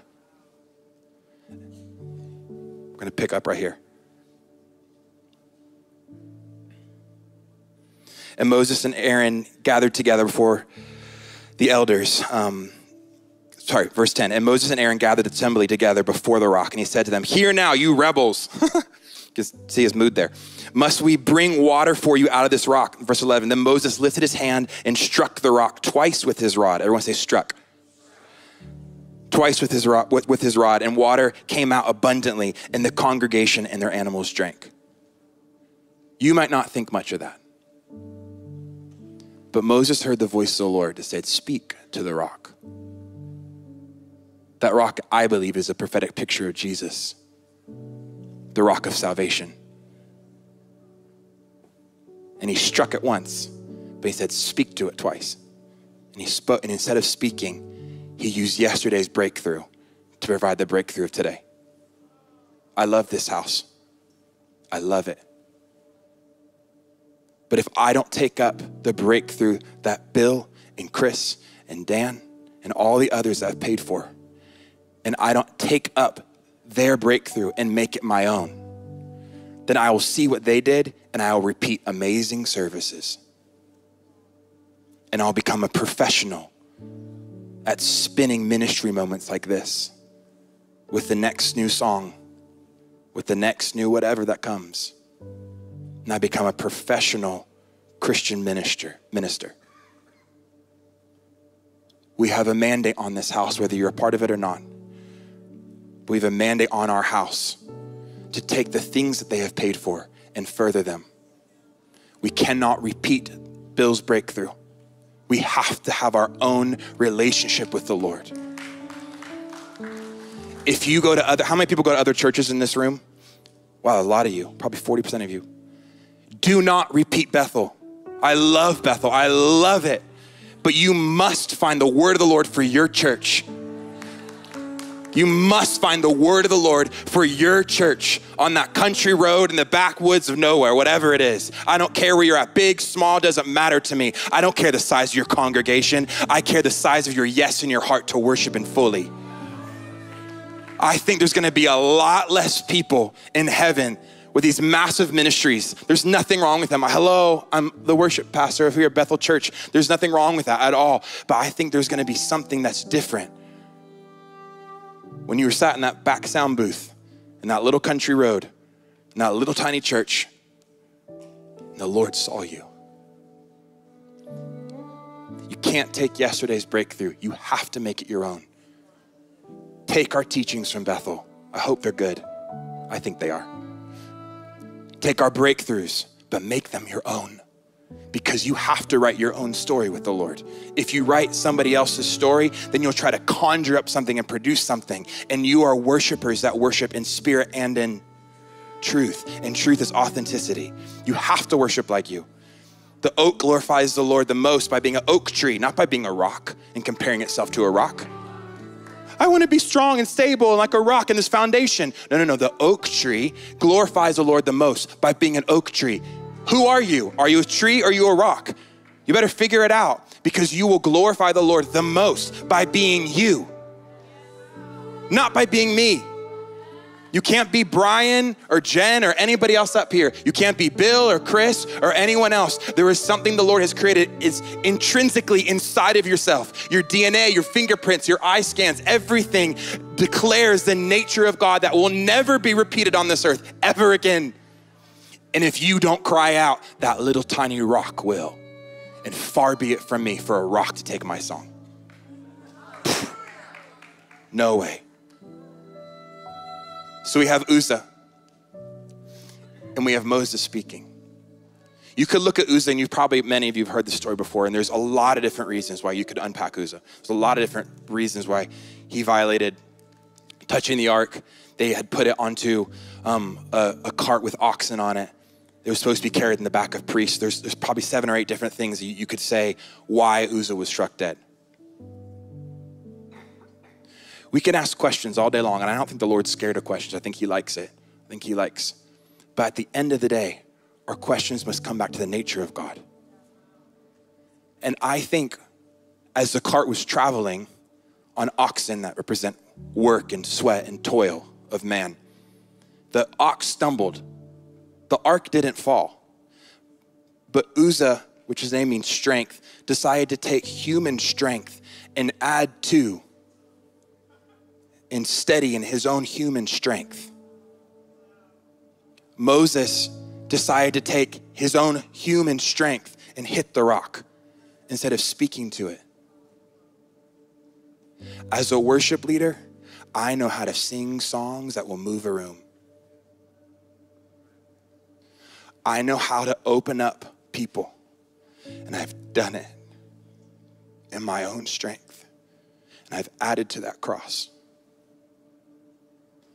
as worshipers and creatives in this room, you are tasked with giving all glory and all honor to the Lord. And it is not by strength, it's not by might or by power, but by my spirit, says the Lord. You cannot earn your salvation. You cannot work your way into loving the Lord more. It is a gift of salvation. That cross, you can't add to it. This worship stage, you can only get so far, and some gifting helps, I will be honest. But gifting will pale, it will fall short when the anointing of the Lord walks in the room. And when He walks in the room, you better stop everything you're doing and stop your toiling. You better slow those oxen down and get it figured out and realize that your strength won't add anything to that cross. It won't add anything to the cross. You grow into needing Jesus. It's my honor to need him, one of my friends says, not your shame. It's my privilege to need Jesus. And I grow into needing him more and more, and I want to grow in dependency to needing him more and more. It's my privilege to be needy before him. God, we need you where we've added to your cross, where we've added to your sacrifice, God. Pierce our hearts, where we've manipulated people, where we've built mega churches and put logos up and erected massive buildings and done it with a hollow heart. God, we repent. And right now, God, we choose to build a church with you as the chief and cap cornerstone. where I've wanted to hang on that cross instead of you, when I've wanted to do it myself my own strength, God, right now, I repent. Whew. I don't want to add anything to your perfect sacrifice. The blood of Jesus was more than enough. The blood of Jesus was more than enough. The blood of Jesus was more than enough. And you can't do squat for him. You can't work it harder. You can't put it on an oxen cart of your life and try to stress it out, work it out, and produce something to make him more proud of you and love you more. He loves you just how you are, just right now. You can't do anything for him. But in the midst of not being able to do anything for him, he wants you to. He doesn't need you, he wants you. And when somebody wants something, that's called love. And lovers will run circles, circles around workers. Lovers will beat out workers every single day because you're madly in love. You're love drunk. You guys okay?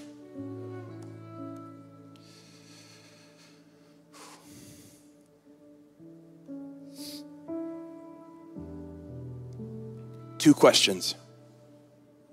What's the motive? What's the fruit?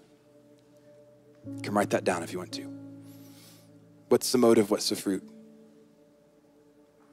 I realize I'm standing before you today on Bethel's stage, which has global impact. I realize I'm standing before you on a stage that is very well known and very celebrated around the world. But what's the motive and what's the fruit? You can have the exact same fruit. You can make a stage just like this. You can set up your sanctuary and your band and your church and everything. You can try to reproduce something, and it can be the exact same product, but the motive be different. And the, root turn, the fruit turns out rotten. He is more concerned with your motive and what's motivating you than he is with what you do if we try to reproduce and recreate what happens at Bethel or any other church in the world, you've lost the authenticity of worshiping in spirit and in truth. You must find your own way. You must find your own way. You must find your own way. You must write your own story. No one's ever done this business idea before, Peter. I, I, I, there's nothing like this before. Great. You're right. Sounds like a God story. I had this idea. No one's ever done it before. Great, sounds like God. This dream is way bigger than my capacity. I have no way I'm going to be able to fulfill this dream. Great, sounds like a God dream. Whew. You grow into needing Him more and more. There's nothing wrong with this stage. There's nothing wrong with stadiums. There's nothing wrong with impacting the world and millions of views on YouTube and all the different accolades. There's nothing wrong with them until your motive is craving the applause of man and the applause of man will satisfy you until you go home. And the applause of man will grow silent when it stops, and your heart will be hollow. It'll be hollow. A stadium can cheer for you. And you go home, but if you haven't heard the applause of your proud Father in heaven, it is hollow. These stages around the world, they pale in comparison, these worship moments that if they're hollow and void of Jesus, they mean nothing. They mean nothing. We are nothing without Him. Everything we do is Jesus. We have one message and one message alone the high priest Christ and Him crucified. That is my whole entire message. That is my whole entire life story. That's my entire thing lived out.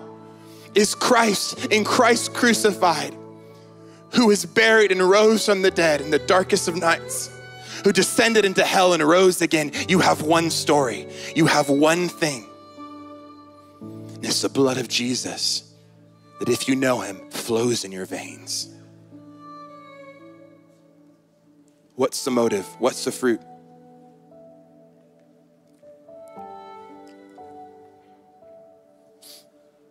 I'm not going to read the rest of 2 Samuel 6. I want to go some, somewhere, but I, I do want to read just a little bit about David's tabernacle and Moses' tabernacle.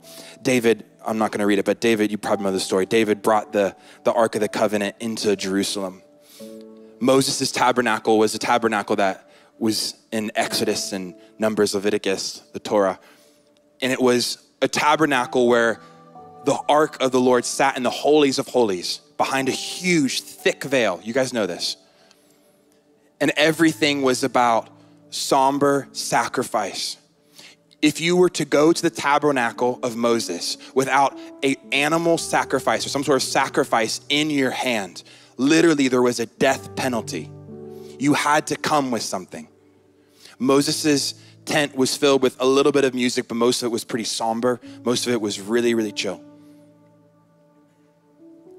Moses' tabernacle was a demonstration of the holiness of God, and it was beautiful.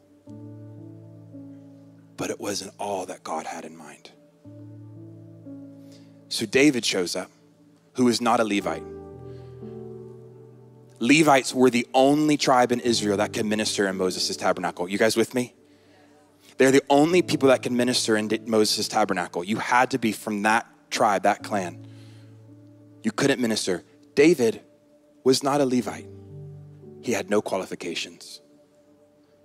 When Samuel the prophet showed up to his house, he asked Jesse to bring his boys out. Jesse didn't even consider, consider David. He was out in the field still tending sheep. And Samuel went, Where's the next one? Where's the, there has to be somebody else. And Jesse's like, Well, there is the little runt of the litter. He's out in the backwoods playing his harp to the sheep. We've romanticized this idea, but steep, sheep stink. I don't know if you've been around them. They're amazing little creatures, but they stink and they're smelly, and there's nothing glorious about them at all. They're quite simple animals, really. But Jesse goes and gets David from the field and brings him out. And Samuel says, That's my boy. Saul, who was king before David, was tall in stature, came from a really amazing family, great wealth, great notoriety, had skills in war, was everything that Israel wanted in a king. But he represents the religion of flesh. David came along with no qualifications. A little tiny piece of leather and some stones in it to throw at lions and tigers. Probably bears, not tigers.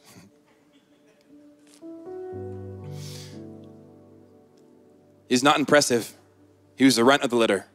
He had no qualifications to become king. And Samuel uncorks his horn and dumps a thing of oil on his head and it rushes down. But David didn't ascend the throne. It took years for him to ascend the throne. How many in this room has the Lord given you promises that you've doubted if it was him? I feel it actually in the room right now. There's promises that he's given you and you've had oil dumped on your head and you've been anointed and the promise of the Lord has gone forth. There's been prophetic words, there's been dreams, there's been verification of the Lord speaking in your life. And for some of you, it's been years and you're starting to wonder where the Lord is. I knew I was supposed to lead worship and I sat in that back sound booth wondering what the heck I was doing, hooking chords up. But I started to hear the sound of worship, not in a pad or a violin or a piano, but in the sound of the click of the chord. And I heard it as worship before the Lord. Some of you have been anointed and given a promise, but it has been time and you've begun to doubt. You've begun to wonder where He is and what He's doing. And I call back to remembrance those words The Lord is on time, and you are on time. You're not behind schedule. You didn't miss the bus. You are right on time. He holds time in his hand. You're right on time. Sorry, I'm just feeling a little prophetic things in the room. The tabernacle of Moses was all about rules and laws. David comes along, the least of these, the runt of the litter, gets anointed king, then ascends to the throne. His first response in ascending the throne was to worship. He called all of Israel together to worship. He called all of them together. And he worshiped the Lord, the little runt of the litter.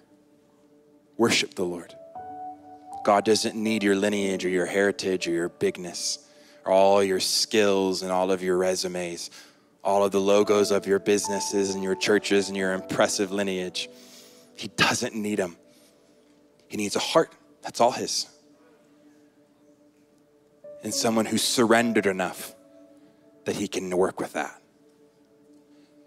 So, David was a worshiper. He needed faith to rule. So, he brings the ark of the covenant into Jerusalem. He places it on the Mount, Mount Zion. We know that term. It's in the middle of Jerusalem. It would have been offensive to Israel what he was doing, like wildly offensive, like sacrilegious, cultic, probably you could even say. Wildly, what he was doing was, was unprecedented. We have no recollection in the Bible of David having an encounter or a specific word from the Lord to do this. He could have had it, I don't know, but we don't have that written in the Bible. So, David, not a Levite, runt of the litter, the sheep tender, doesn't take the ark of God back to Gibeon where Moses' tabernacle was. He takes it into Jerusalem. There was an entire village set up around Gibeon, which all focused around tending the tabernacle of Moses. And he offendedly, or he offensively took the Ark of the Covenant into Jerusalem because he said, I want it to be close. He recognized the nearness of God. He is offensive in every way. We talk about David as this amazing person, but when in the time, man, he would have ruffled some feathers, I guarantee you. How many feathers are you ruffling?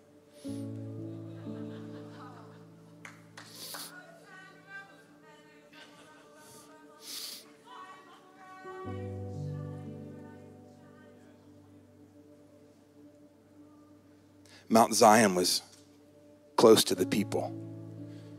And he took that ark and he plopped it down in the middle of Jerusalem. No veil, no outer court, no inner court. Unveiled faces. Behold the glory of the Lord. And Moses, offen- uh, sorry, David, offensively went in and sat before the ark with no veil, no high priest to even see the ark, to even like be, get close to the ark. The high priest, who was a Levite by nature, who had been raised his entire life and taught all the rules, all the regulations once a year. Once a year, he was the only guy in all of Israel that would enter into the Holy of Holies in Moses' tabernacle, and he would see the Ark of the Covenant. And if he had any sin in his life, they'd attach a rope around his, uh, his ankle to pull old Joe out because he had sin, because he'd fall dead. Oh, another one bit the dust, pull him out. That's how serious this was. And David, this offensive little shepherd boy, takes this ark and plops it down on Mount Zion in the middle of the capital city of Jerusalem and says, I want the ark, the presence of God, to be so close that people can see it. No veil, so offensive. And no one died. Why? David broke hundreds of rules, probably. But God isn't, I believe, so much concerned about rules. He's more concerned about the heart and the motive of those rules. And David had a blanket of intimacy that allowed him to access a side of the Lord that the Lord had reserved. And he pulled it into the now. And he brought the presence of God close. He brought the nearness, the very convergence of heaven and earth into the middle of the people to bring them close. He called Jerusalem to come and worship. He put 24 families to minister before the ark. Sounds familiar. And their head elders to minister with the families, 24 of them. 24 singing prophets. They're prophets that sang. Chris Fountain, time to sing. 24 singing prophets with 288 brothers and sons and scribes to record what the prophets sung. There were 4,000 musicians. We have like 80 some people on our team, and I'll tell you what, wrangling these guys is, is hard to even get a schedule put together, put them on this, on this stage. Jared, will you stand up right now? Jared Walsh? Yeah. Guys, this is Jared Walsh. Give it up, give it up.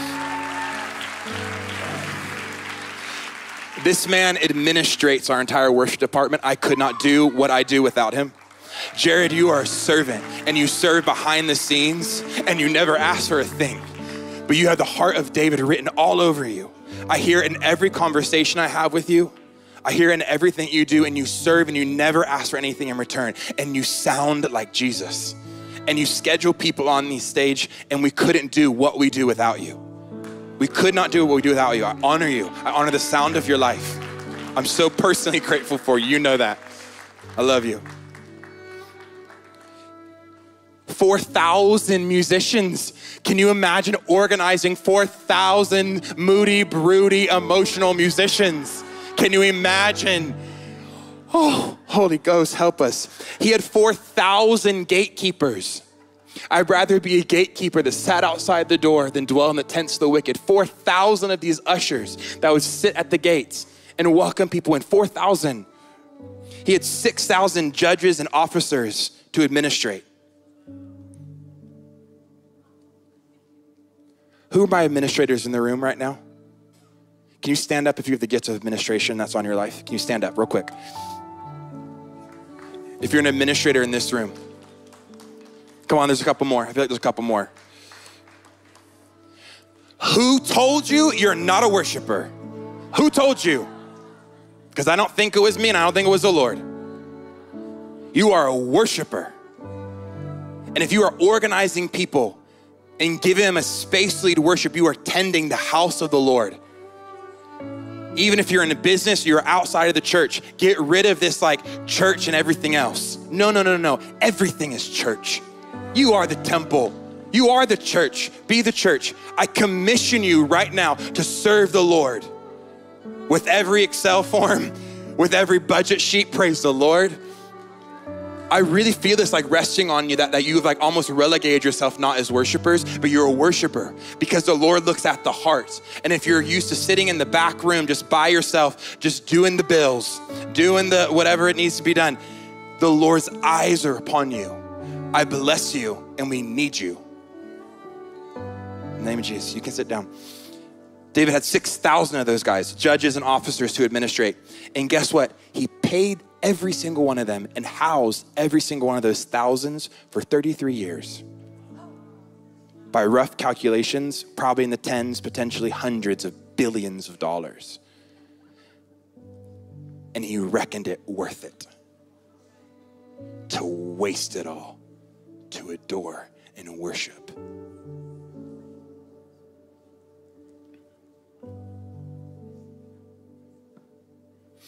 Davidic worship in David's temple was loud and ruckus.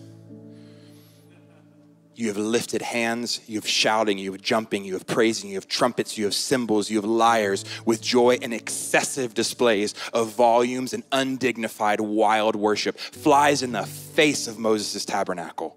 Offensive. And you have flaggers going around and everywhere and big old trumpets, right? Probably not on the same key. I don't know how he got excellence with 4,000 musicians. I, I have a hard enough time leading a band of seven or eight. It's wild. It was excessive. If I had time, we would have gone in 2 Samuel 6, and Michal looked out from the window and judged David in her heart. And, and David comes back. He was dancing. And he comes back, and Michal mocks him and says, Oh, was the king of Israel so dignified today? And David comes back and, and says, I'll become even more undignified than this. You watch me spin before the Lord. You watch me dance before the Lord. Some of you in this room have been told by people that you respect and love that your display of worship was too much. T O O. Ooh. And you allowed the voice of Michal to judge you, and you allowed it to shut you down and clamp your voice. Holy Spirit, right now. If that's you in this room, can you stand? I feel that again. If you've allowed someone to shut your voice down and said you were too much, too much. Whoa, whoa, whoa. Calm it down, tone it down, tone it down, back it down, back it down, lower the volume. Dance only this much, praise only this much. Your voice is too loud. T O O. Woo!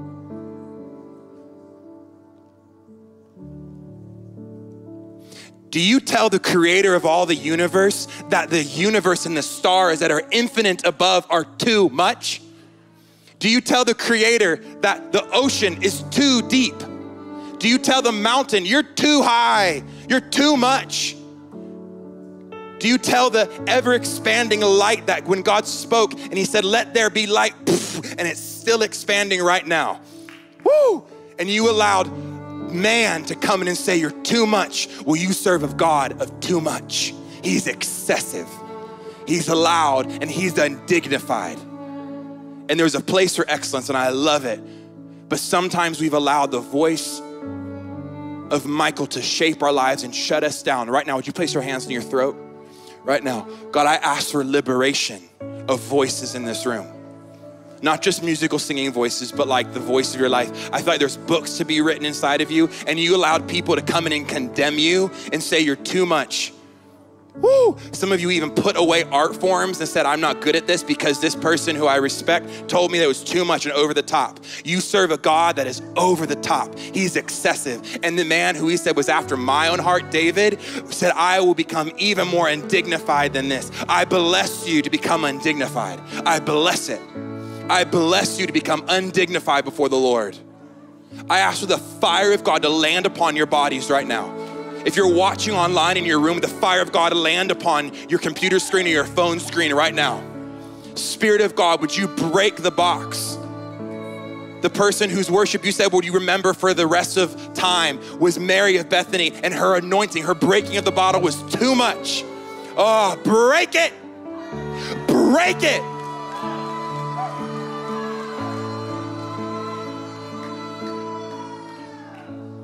It's too much and it's glorious.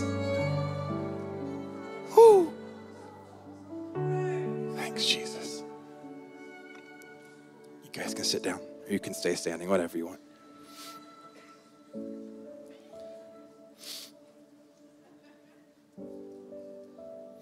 David sat before the ark of the Lord with wildness all around him, flying in the face of what Israel knew and he passed it on to his son Solomon. I wonder, this is Peter's wondering. I wonder if Solomon, his boy, if he had caught the intimacy in the heart of David, if he could have continued in Davidic tabernacle worship. But Solomon built the temple, which was beautiful and he put the ark back into the Holy of Holies, which was beautiful. And the glory of the Lord filled the temple, which was beautiful. But I wonder if Solomon would have been able to capture the heart of what David had done and pioneered and continue it. But the Lord is patient, He's not in a hurry, and He's right on time. There's one thing I haven't hit of the difference between the tabernacle of Moses and the tabernacle of David. One major thing sets apart Moses' tabernacle from David's. One thing sacrifice.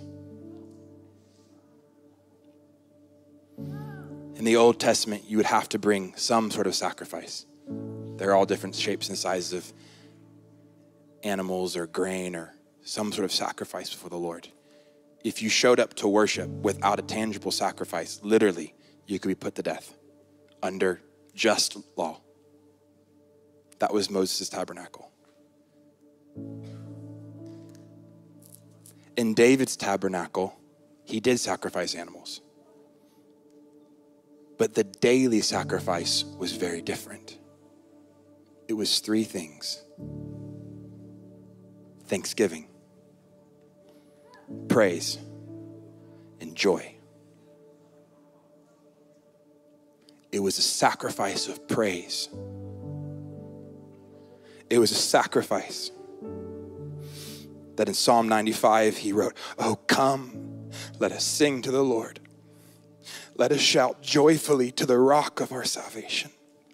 Let us come before his presence with thanksgiving.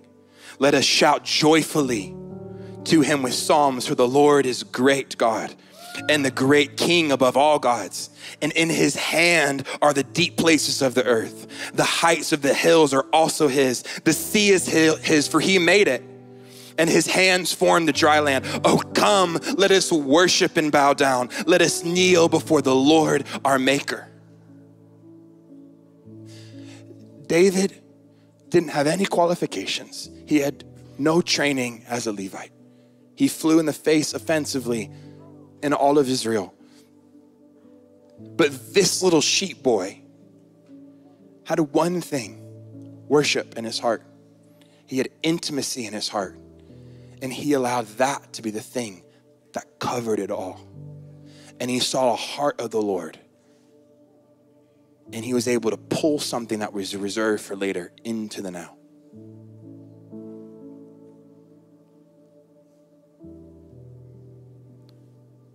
Thanksgiving is costly, very costly. because thankfulness lifts your eyes off of what you think He's not doing and on to who He is and what He is doing. It takes the hands off the plow that are quen- that are clenched up, pushing the plow, working harder. See, I'm toiling. I'm doing this for you, God. Look at how faithful I am. And it takes the, the clenched fist of work and it says, "Thank you, God." American Sign Language says, "Thank you." And the open hand of thank you enables you to receive the rain. Praise cost you something it has to cost you something. Like there's there's a cost of praise. Because right now, every single one of you have some circumstance or something that's happening around you, some wall that's around you, some impossibility that's around you, some area where you could become so offended and so bitter before the Lord. And yet you came to this church tonight and you said, I'm gonna praise the Lord. And in your praise, you lift up your hands, you lift up your shouts, you lift up whatever you have, and your praise costs you something. And finally, joy. Joy is not shallow. I think sometimes in the evangelical church, we've taken, oh, I need to be joyful, I need to be happy, I need to be put together, I need to be cleaned up before I come and present myself to the Lord. Have you read the Psalms? Those things are gnarly. They are brutal. David was not afraid of letting the Lord know how he felt. He was not afraid. Sometimes in the Christian evangelical church, we think we need to clean ourselves up before we get to church. Well, God's good, bless his name, all the things. And suddenly, some people say these things and you don't believe them because they're hollow. Joy is eyes wide open and facing whatever obstacles in your way. It's looking at it square in the eye and saying, Come here. Come here. I'm gonna look at you. I'm gonna grieve. I'm gonna mourn. I'm gonna feel it. I'm not gonna shove my fingers in and make just mindless decrees. I love decrees. But if the motive is of the heart is to avoid pain, then you actually won't enable or be allowed to walk out of the valley because you never entered the valley because you were too afraid. Yea, though I walk the valley, the shadow of death. Walk the valley because he will lead you out of it. And joy will be your song. And it will be eyes wide open. It'll be facing it full on. It'll be looking at the impossibility. And your sacrifice will no longer be of goats and of lambs. It will no longer be of animals, but it will be of the heart to choose thanksgiving and joy and praise. What is your circumstance tonight? What do you need? What do you need? Do you need healing? Do You need financial breakthrough? Worship the Lord with all of your heart, your mind, your soul, your strength. Worship Him. He's close, He's near. David gave us a picture of wh- who we are today the house, the temple, Christ in you, the hope of glory. You've been crucified with Christ and you don't live anymore, but Christ lives in you. The life you live in this body, you live by faith in the Son of God who loved you and gave Himself for you. It's Galatians. What do you need tonight? You look full in the face of that impossibility. You look full in the face of that wall in front of you and you say, Come here, wall. I'm gonna sing to you. And I'm gonna choose joy and thanksgiving and praise when it makes no sense. You're gonna choose joy and thanksgiving and praise, not shoving down what you're feeling, but bringing it up and presenting your bodies as living sacrifices, living the life, the, the mundane, the spectacular, the horrible, and bringing all of your rags before Him, and He exchanges them for riches. And suddenly your joy isn't hollow, it's deep and it's real because you've made an exchange with Him. You've actually traded something in with Him. It's not a hollow decree. No, it's just saying, this is horrible. This is hard. This is intense. I need the Lord to show up. This doesn't work without the Lord. And you bring it before the Lord. You come just as you are, not polished and clean, not all dialed up and make sure you're looking good for, for spirit led church. No, no, no, no, no. I'm done with playing church. I need the real people of God to look and say, This is who I am in all of my humanity, and then trade it in for the divinity of God and say, Christ in me, the hope of glory, is the reason why I praise. Full eyes looking into your situation and saying, Yes, you come here and you listen to me praise. Sit by me, enemy, and you're gonna have your ears filled with the sound of thanksgiving and joy and praise. Tonight, whatever it is, I want you to respond to the Lord. However you however you need to right now. Move, stand, sit, whatever you need to do. If it's loud, be loud. If it's quiet, be quiet. But you bring your circumstance close to you. You bring your impossibility close to you. Come to the front if you want, lay down if you want. I don't care what you do. Jump, move, spin. Be quiet before the Lord. But whatever you do, bring it to the Lord right now. You lock eyes with Him. Don't care about what anybody else in this room's doing. You lock eyes with Him. Choose joy and thanksgiving. Bring your situation close. Would you lift your voice in this place? If you're online, would you lift your voice in your room or your car, whatever you're listening to? Would you lift your voice and bring a sacrifice of praise that costs you something, a sacrifice of joy that costs you something? Go ahead, lift it up, lift it up. Prophesy, Lauren. Prophesy, Desi.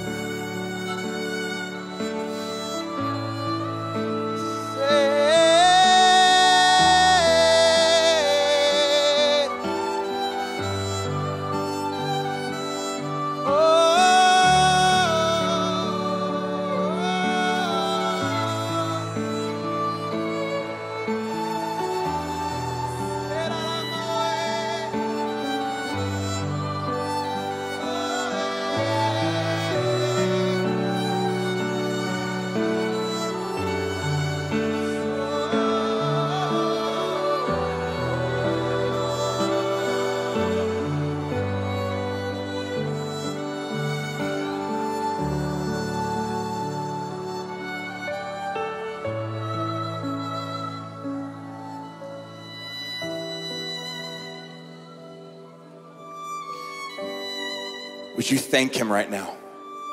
Put tangible, practical things of thanksgiving on your lips.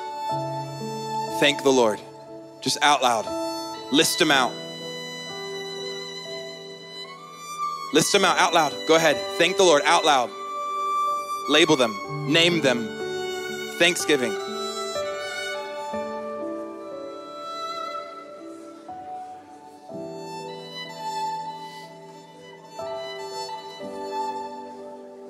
Feel your heart softening. Thank Him out loud. Keep going. Reach for something else. Reach for something else.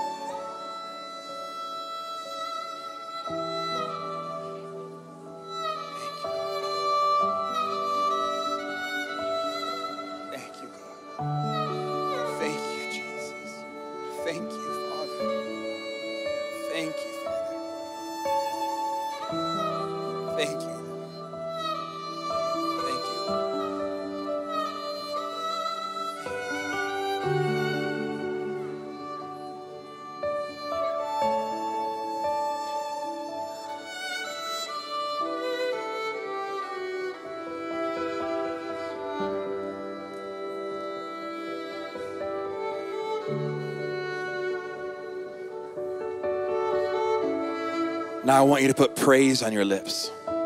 Praise the Lord, oh my soul, and forget not all his benefits. Let praise fill this temple. Let praise fill your own temple.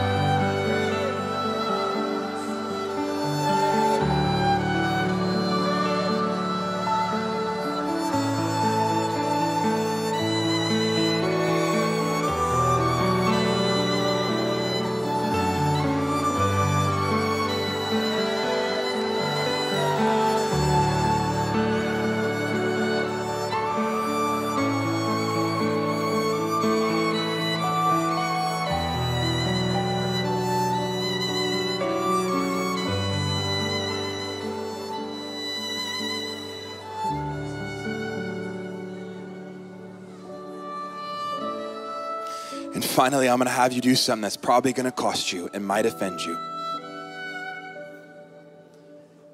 I want you to, in your own words, your own, your own mind, your own heart, bring up an impossible situation. I want you to hold it in your hand, figuratively. Maybe, maybe real. Maybe you need to get your wallet out or a metaphor is it. But I want you to hold the impossibility in your hands. Maybe it's a loved one that needs to be saved. Maybe it's an estranged child. Maybe it's a healing that needs to happen. I want you to hold it in your hand. And I want you to point at it right now. Point at it. Go ahead, point. And I want you to beckon it close. I know it sounds weird. I want you to beckon it close with your little finger like this. Come here. Come here. And I want you to repeat after me. You ready? You stand by me and listen to the sound of my praise. You sit right here next to me and listen to my joy. You come close and you're not gonna leave until I'm done being thankful. Go for it.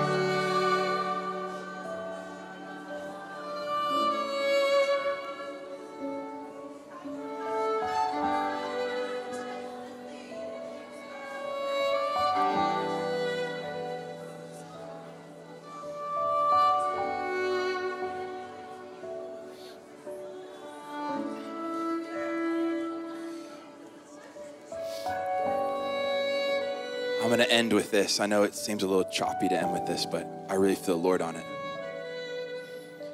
I've been crying out in my own journey. If you know my journey with healing, I have been crying out to the Lord to begin healing people in worship.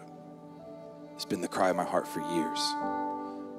And more and more, I'm realizing that if we simply turn people's attention to it, that it's possible. It does start to happen everywhere. I was sitting with at my friend Ben Wilson's. He did offering today, his birthday, a week or two ago. And I met my friend Andrew, and he told me his testimony, his story, and I was just personally jaw dropped from a couple weeks ago when we were leading worship and Ben gave a word. I know it's a little late. If you can give me like three or four more minutes, I just want to open the veil on possibility and breakthrough happening when we give God glory. Andrew, tell me your story. All right, well, I'm going to start on a mountain about a year ago. I was in Wyoming uh, with Braveco and uh, had an amazing experience at the kind of the pinnacle of my life. I thought I had it made very successful in business and family, four kids, wife of uh, 16 years at the time. And so I came home from that trip, you know, on a high. And uh, it was a week later, I, we had some work done on our pool. And uh, I walked out um, just to turn the pool pump back on. They, they forgot to turn it on when they finished, and it exploded in my face. Um, I don't remember a whole lot that day, except uh, at one point, kind of waking up before surgery. I had 14 fractures in my face, um, broken jaw, nose, uh, massive traumatic brain injury, and, and eight ruptured discs between my neck and my, and my lower back. And so I woke up getting ready to go into surgery, and I remember looking up at the doctor and I was like, please don't let me die. And uh, so that was a week after this mountaintop experience. Um, go into, I wake up, my, I did actually die on the table, my heart stopped, and I woke up on a ventilator a couple days later. Oh, geez. Um, and yeah, we don't have to keep up on that. You can take that off.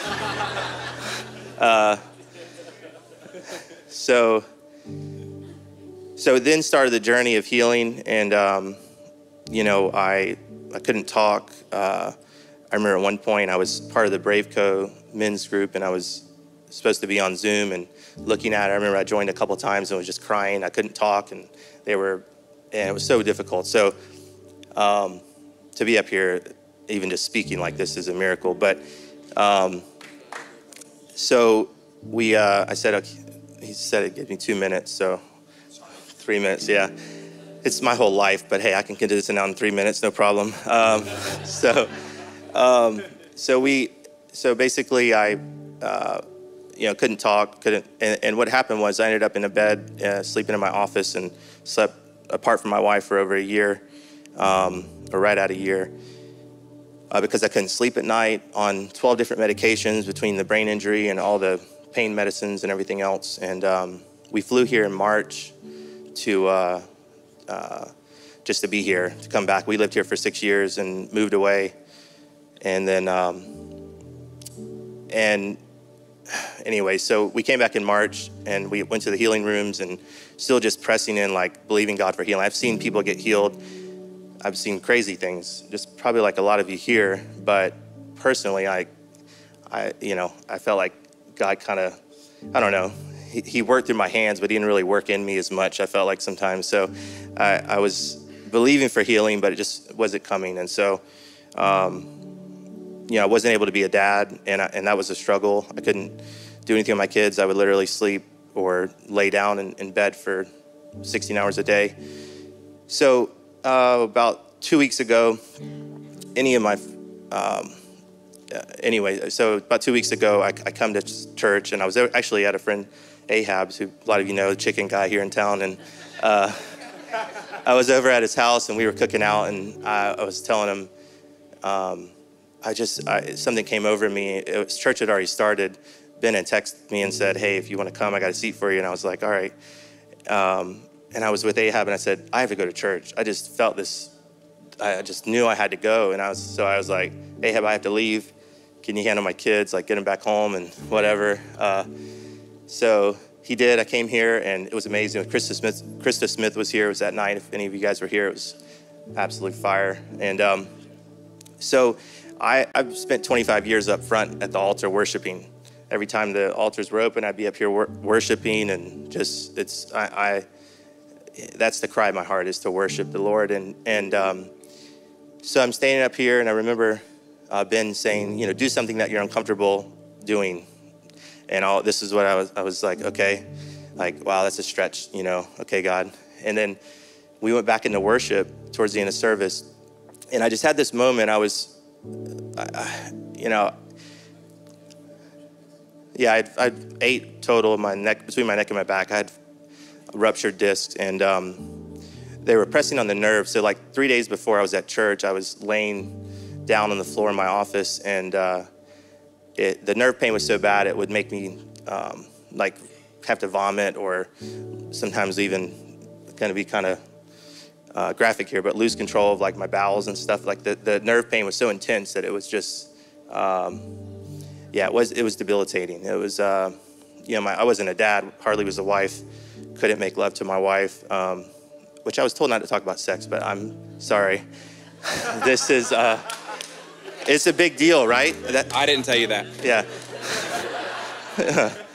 uh, so the, the, the last time I got a mic, I was in Braveco, and it was a bunch of men, and so I it was a little different environment, but um, but it's a big deal. You know, you can't have you can't make love to your wife for, I mean, and you hear your friends bragging about it, and it's just like, man, I'm just kidding. No, but no, seriously, it's hard to be a guy and to have you know to be in that situation. So. Um, but that wasn't enough to get me healed. Honestly, like the, the making love or being my, a dad to my kids, that actually wasn't enough. What happened was, is I was just crying out, saying like, God, like, I want to worship. I want to jump up and down. I want to be who I am. Like you created me this way. I, I want to worship you. I want to worship you like you created me to worship you and like I've done all my life. And, um, and God, I just, I can, I just remember standing there and, and, um, and, and there was no, it was at that point, there was no actual words being sung. It was just worship. It was just crying out, everybody just crying out for the Lord. And, and he said that, uh, he said, hey, I'll heal you. Um, but you, you have to take it, you have to take a step of faith. You have to jump out the boat. And I saw this picture immediately of Peter stepping out of the boat, walking towards Jesus. And, um, and I knew, I said, I was like, God, like this better be you, because if it's not, I'm gonna be freaking crippled tomorrow. And I, but I, and, and he's like, he he literally, I mean, I remember it clearly, just saying like nobody was around, there was nobody paying attention, nobody touched me, um, but it was the cry of my heart. It was to worship, and so I uh, I just started jumping and jumping and jumping and dancing, and uh, my I. I found out later I got I got home and my wife showed me a video. She was literally running around the house like a wild woman. My kids were, wor- my kids were worshiping there and she had no idea what was happening in me. She just knew the presence and she was so happy that I was there. Um, and so now, you know, I uh, you know, and I've been hesitant to even share this just because it's so personal to me. It's like something uh, I didn't want to get up. I, I mean, I it's not I didn't want to get up here. I just was kind of like, all right, we're not going this direction tonight. Like, we're going to go home in a minute. It's good. But because it's personal, it's something that God did in me. It's not actually, it's, I don't feel like it's, you know, but, but testimony, I know we're a house built around testimonies. And so one of the things I was feeling like, I, I know there's other people in the room who have seen healing, and but you may not have experienced yourself. And um, I just want you to know, like God, God hears you.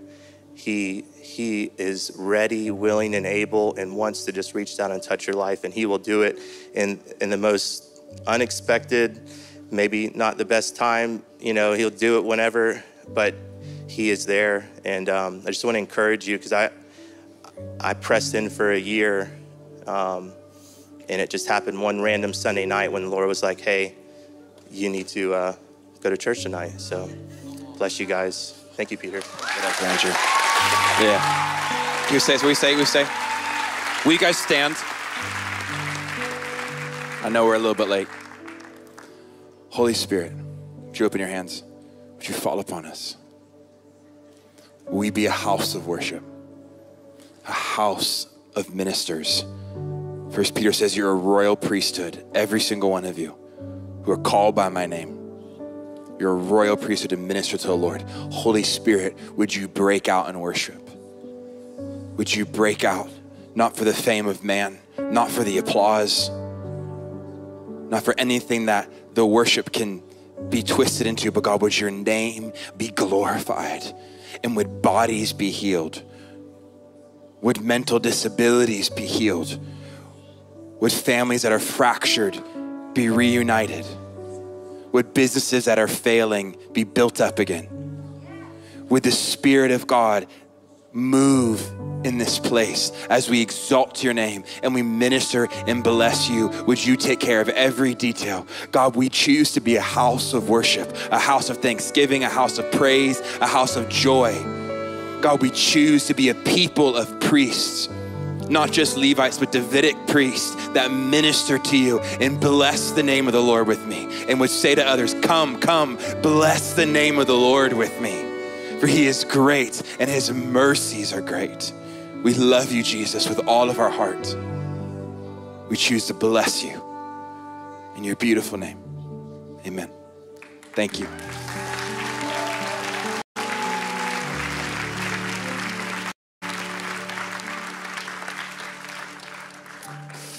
Well, whew. There's only one thing to do, and that's to minister to Jesus. Why don't we just take just a moment just before I, I know it's late, but maybe just let's begin to lift our voices just a little bit, just to close off, just in unison. We're just going to flow with the Spirit just for one little moment before I properly close, but. Mm,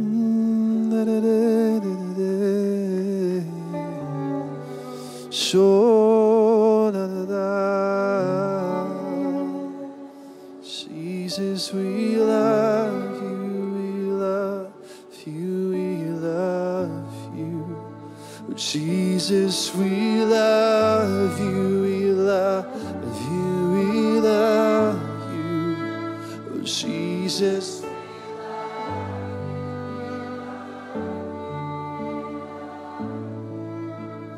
More than anything, more than anything. Jesus, I love you, we love you, we love you. Jesus, we love you, we love you, we love you. Oh, Jesus, we love you, we love you, love you more than anything, more than anything. Jesus, we love you. We love you more than anything, God. You're the reason we came here from all across the world. We love you, God. We love you, God. We love you. Amen. Amen. We have a wonderful ministry team. If, uh, our ministry ministry team wouldn't mind just making your way to the front, and we spe- spe- specifically, uh, not Pacific Ocean, but specifically want to ask if you need healing in your body. We want to trust that God wants to heal you tonight. So our ministry team are going to be praying for people who would like healing in their body. Uh, I know it's late. If God's on you, uh, you can just stay for a little bit longer if you need to. Otherwise, you're free to go. Let's just thank Pete one more time. Pete, thank you so much. It was beautiful.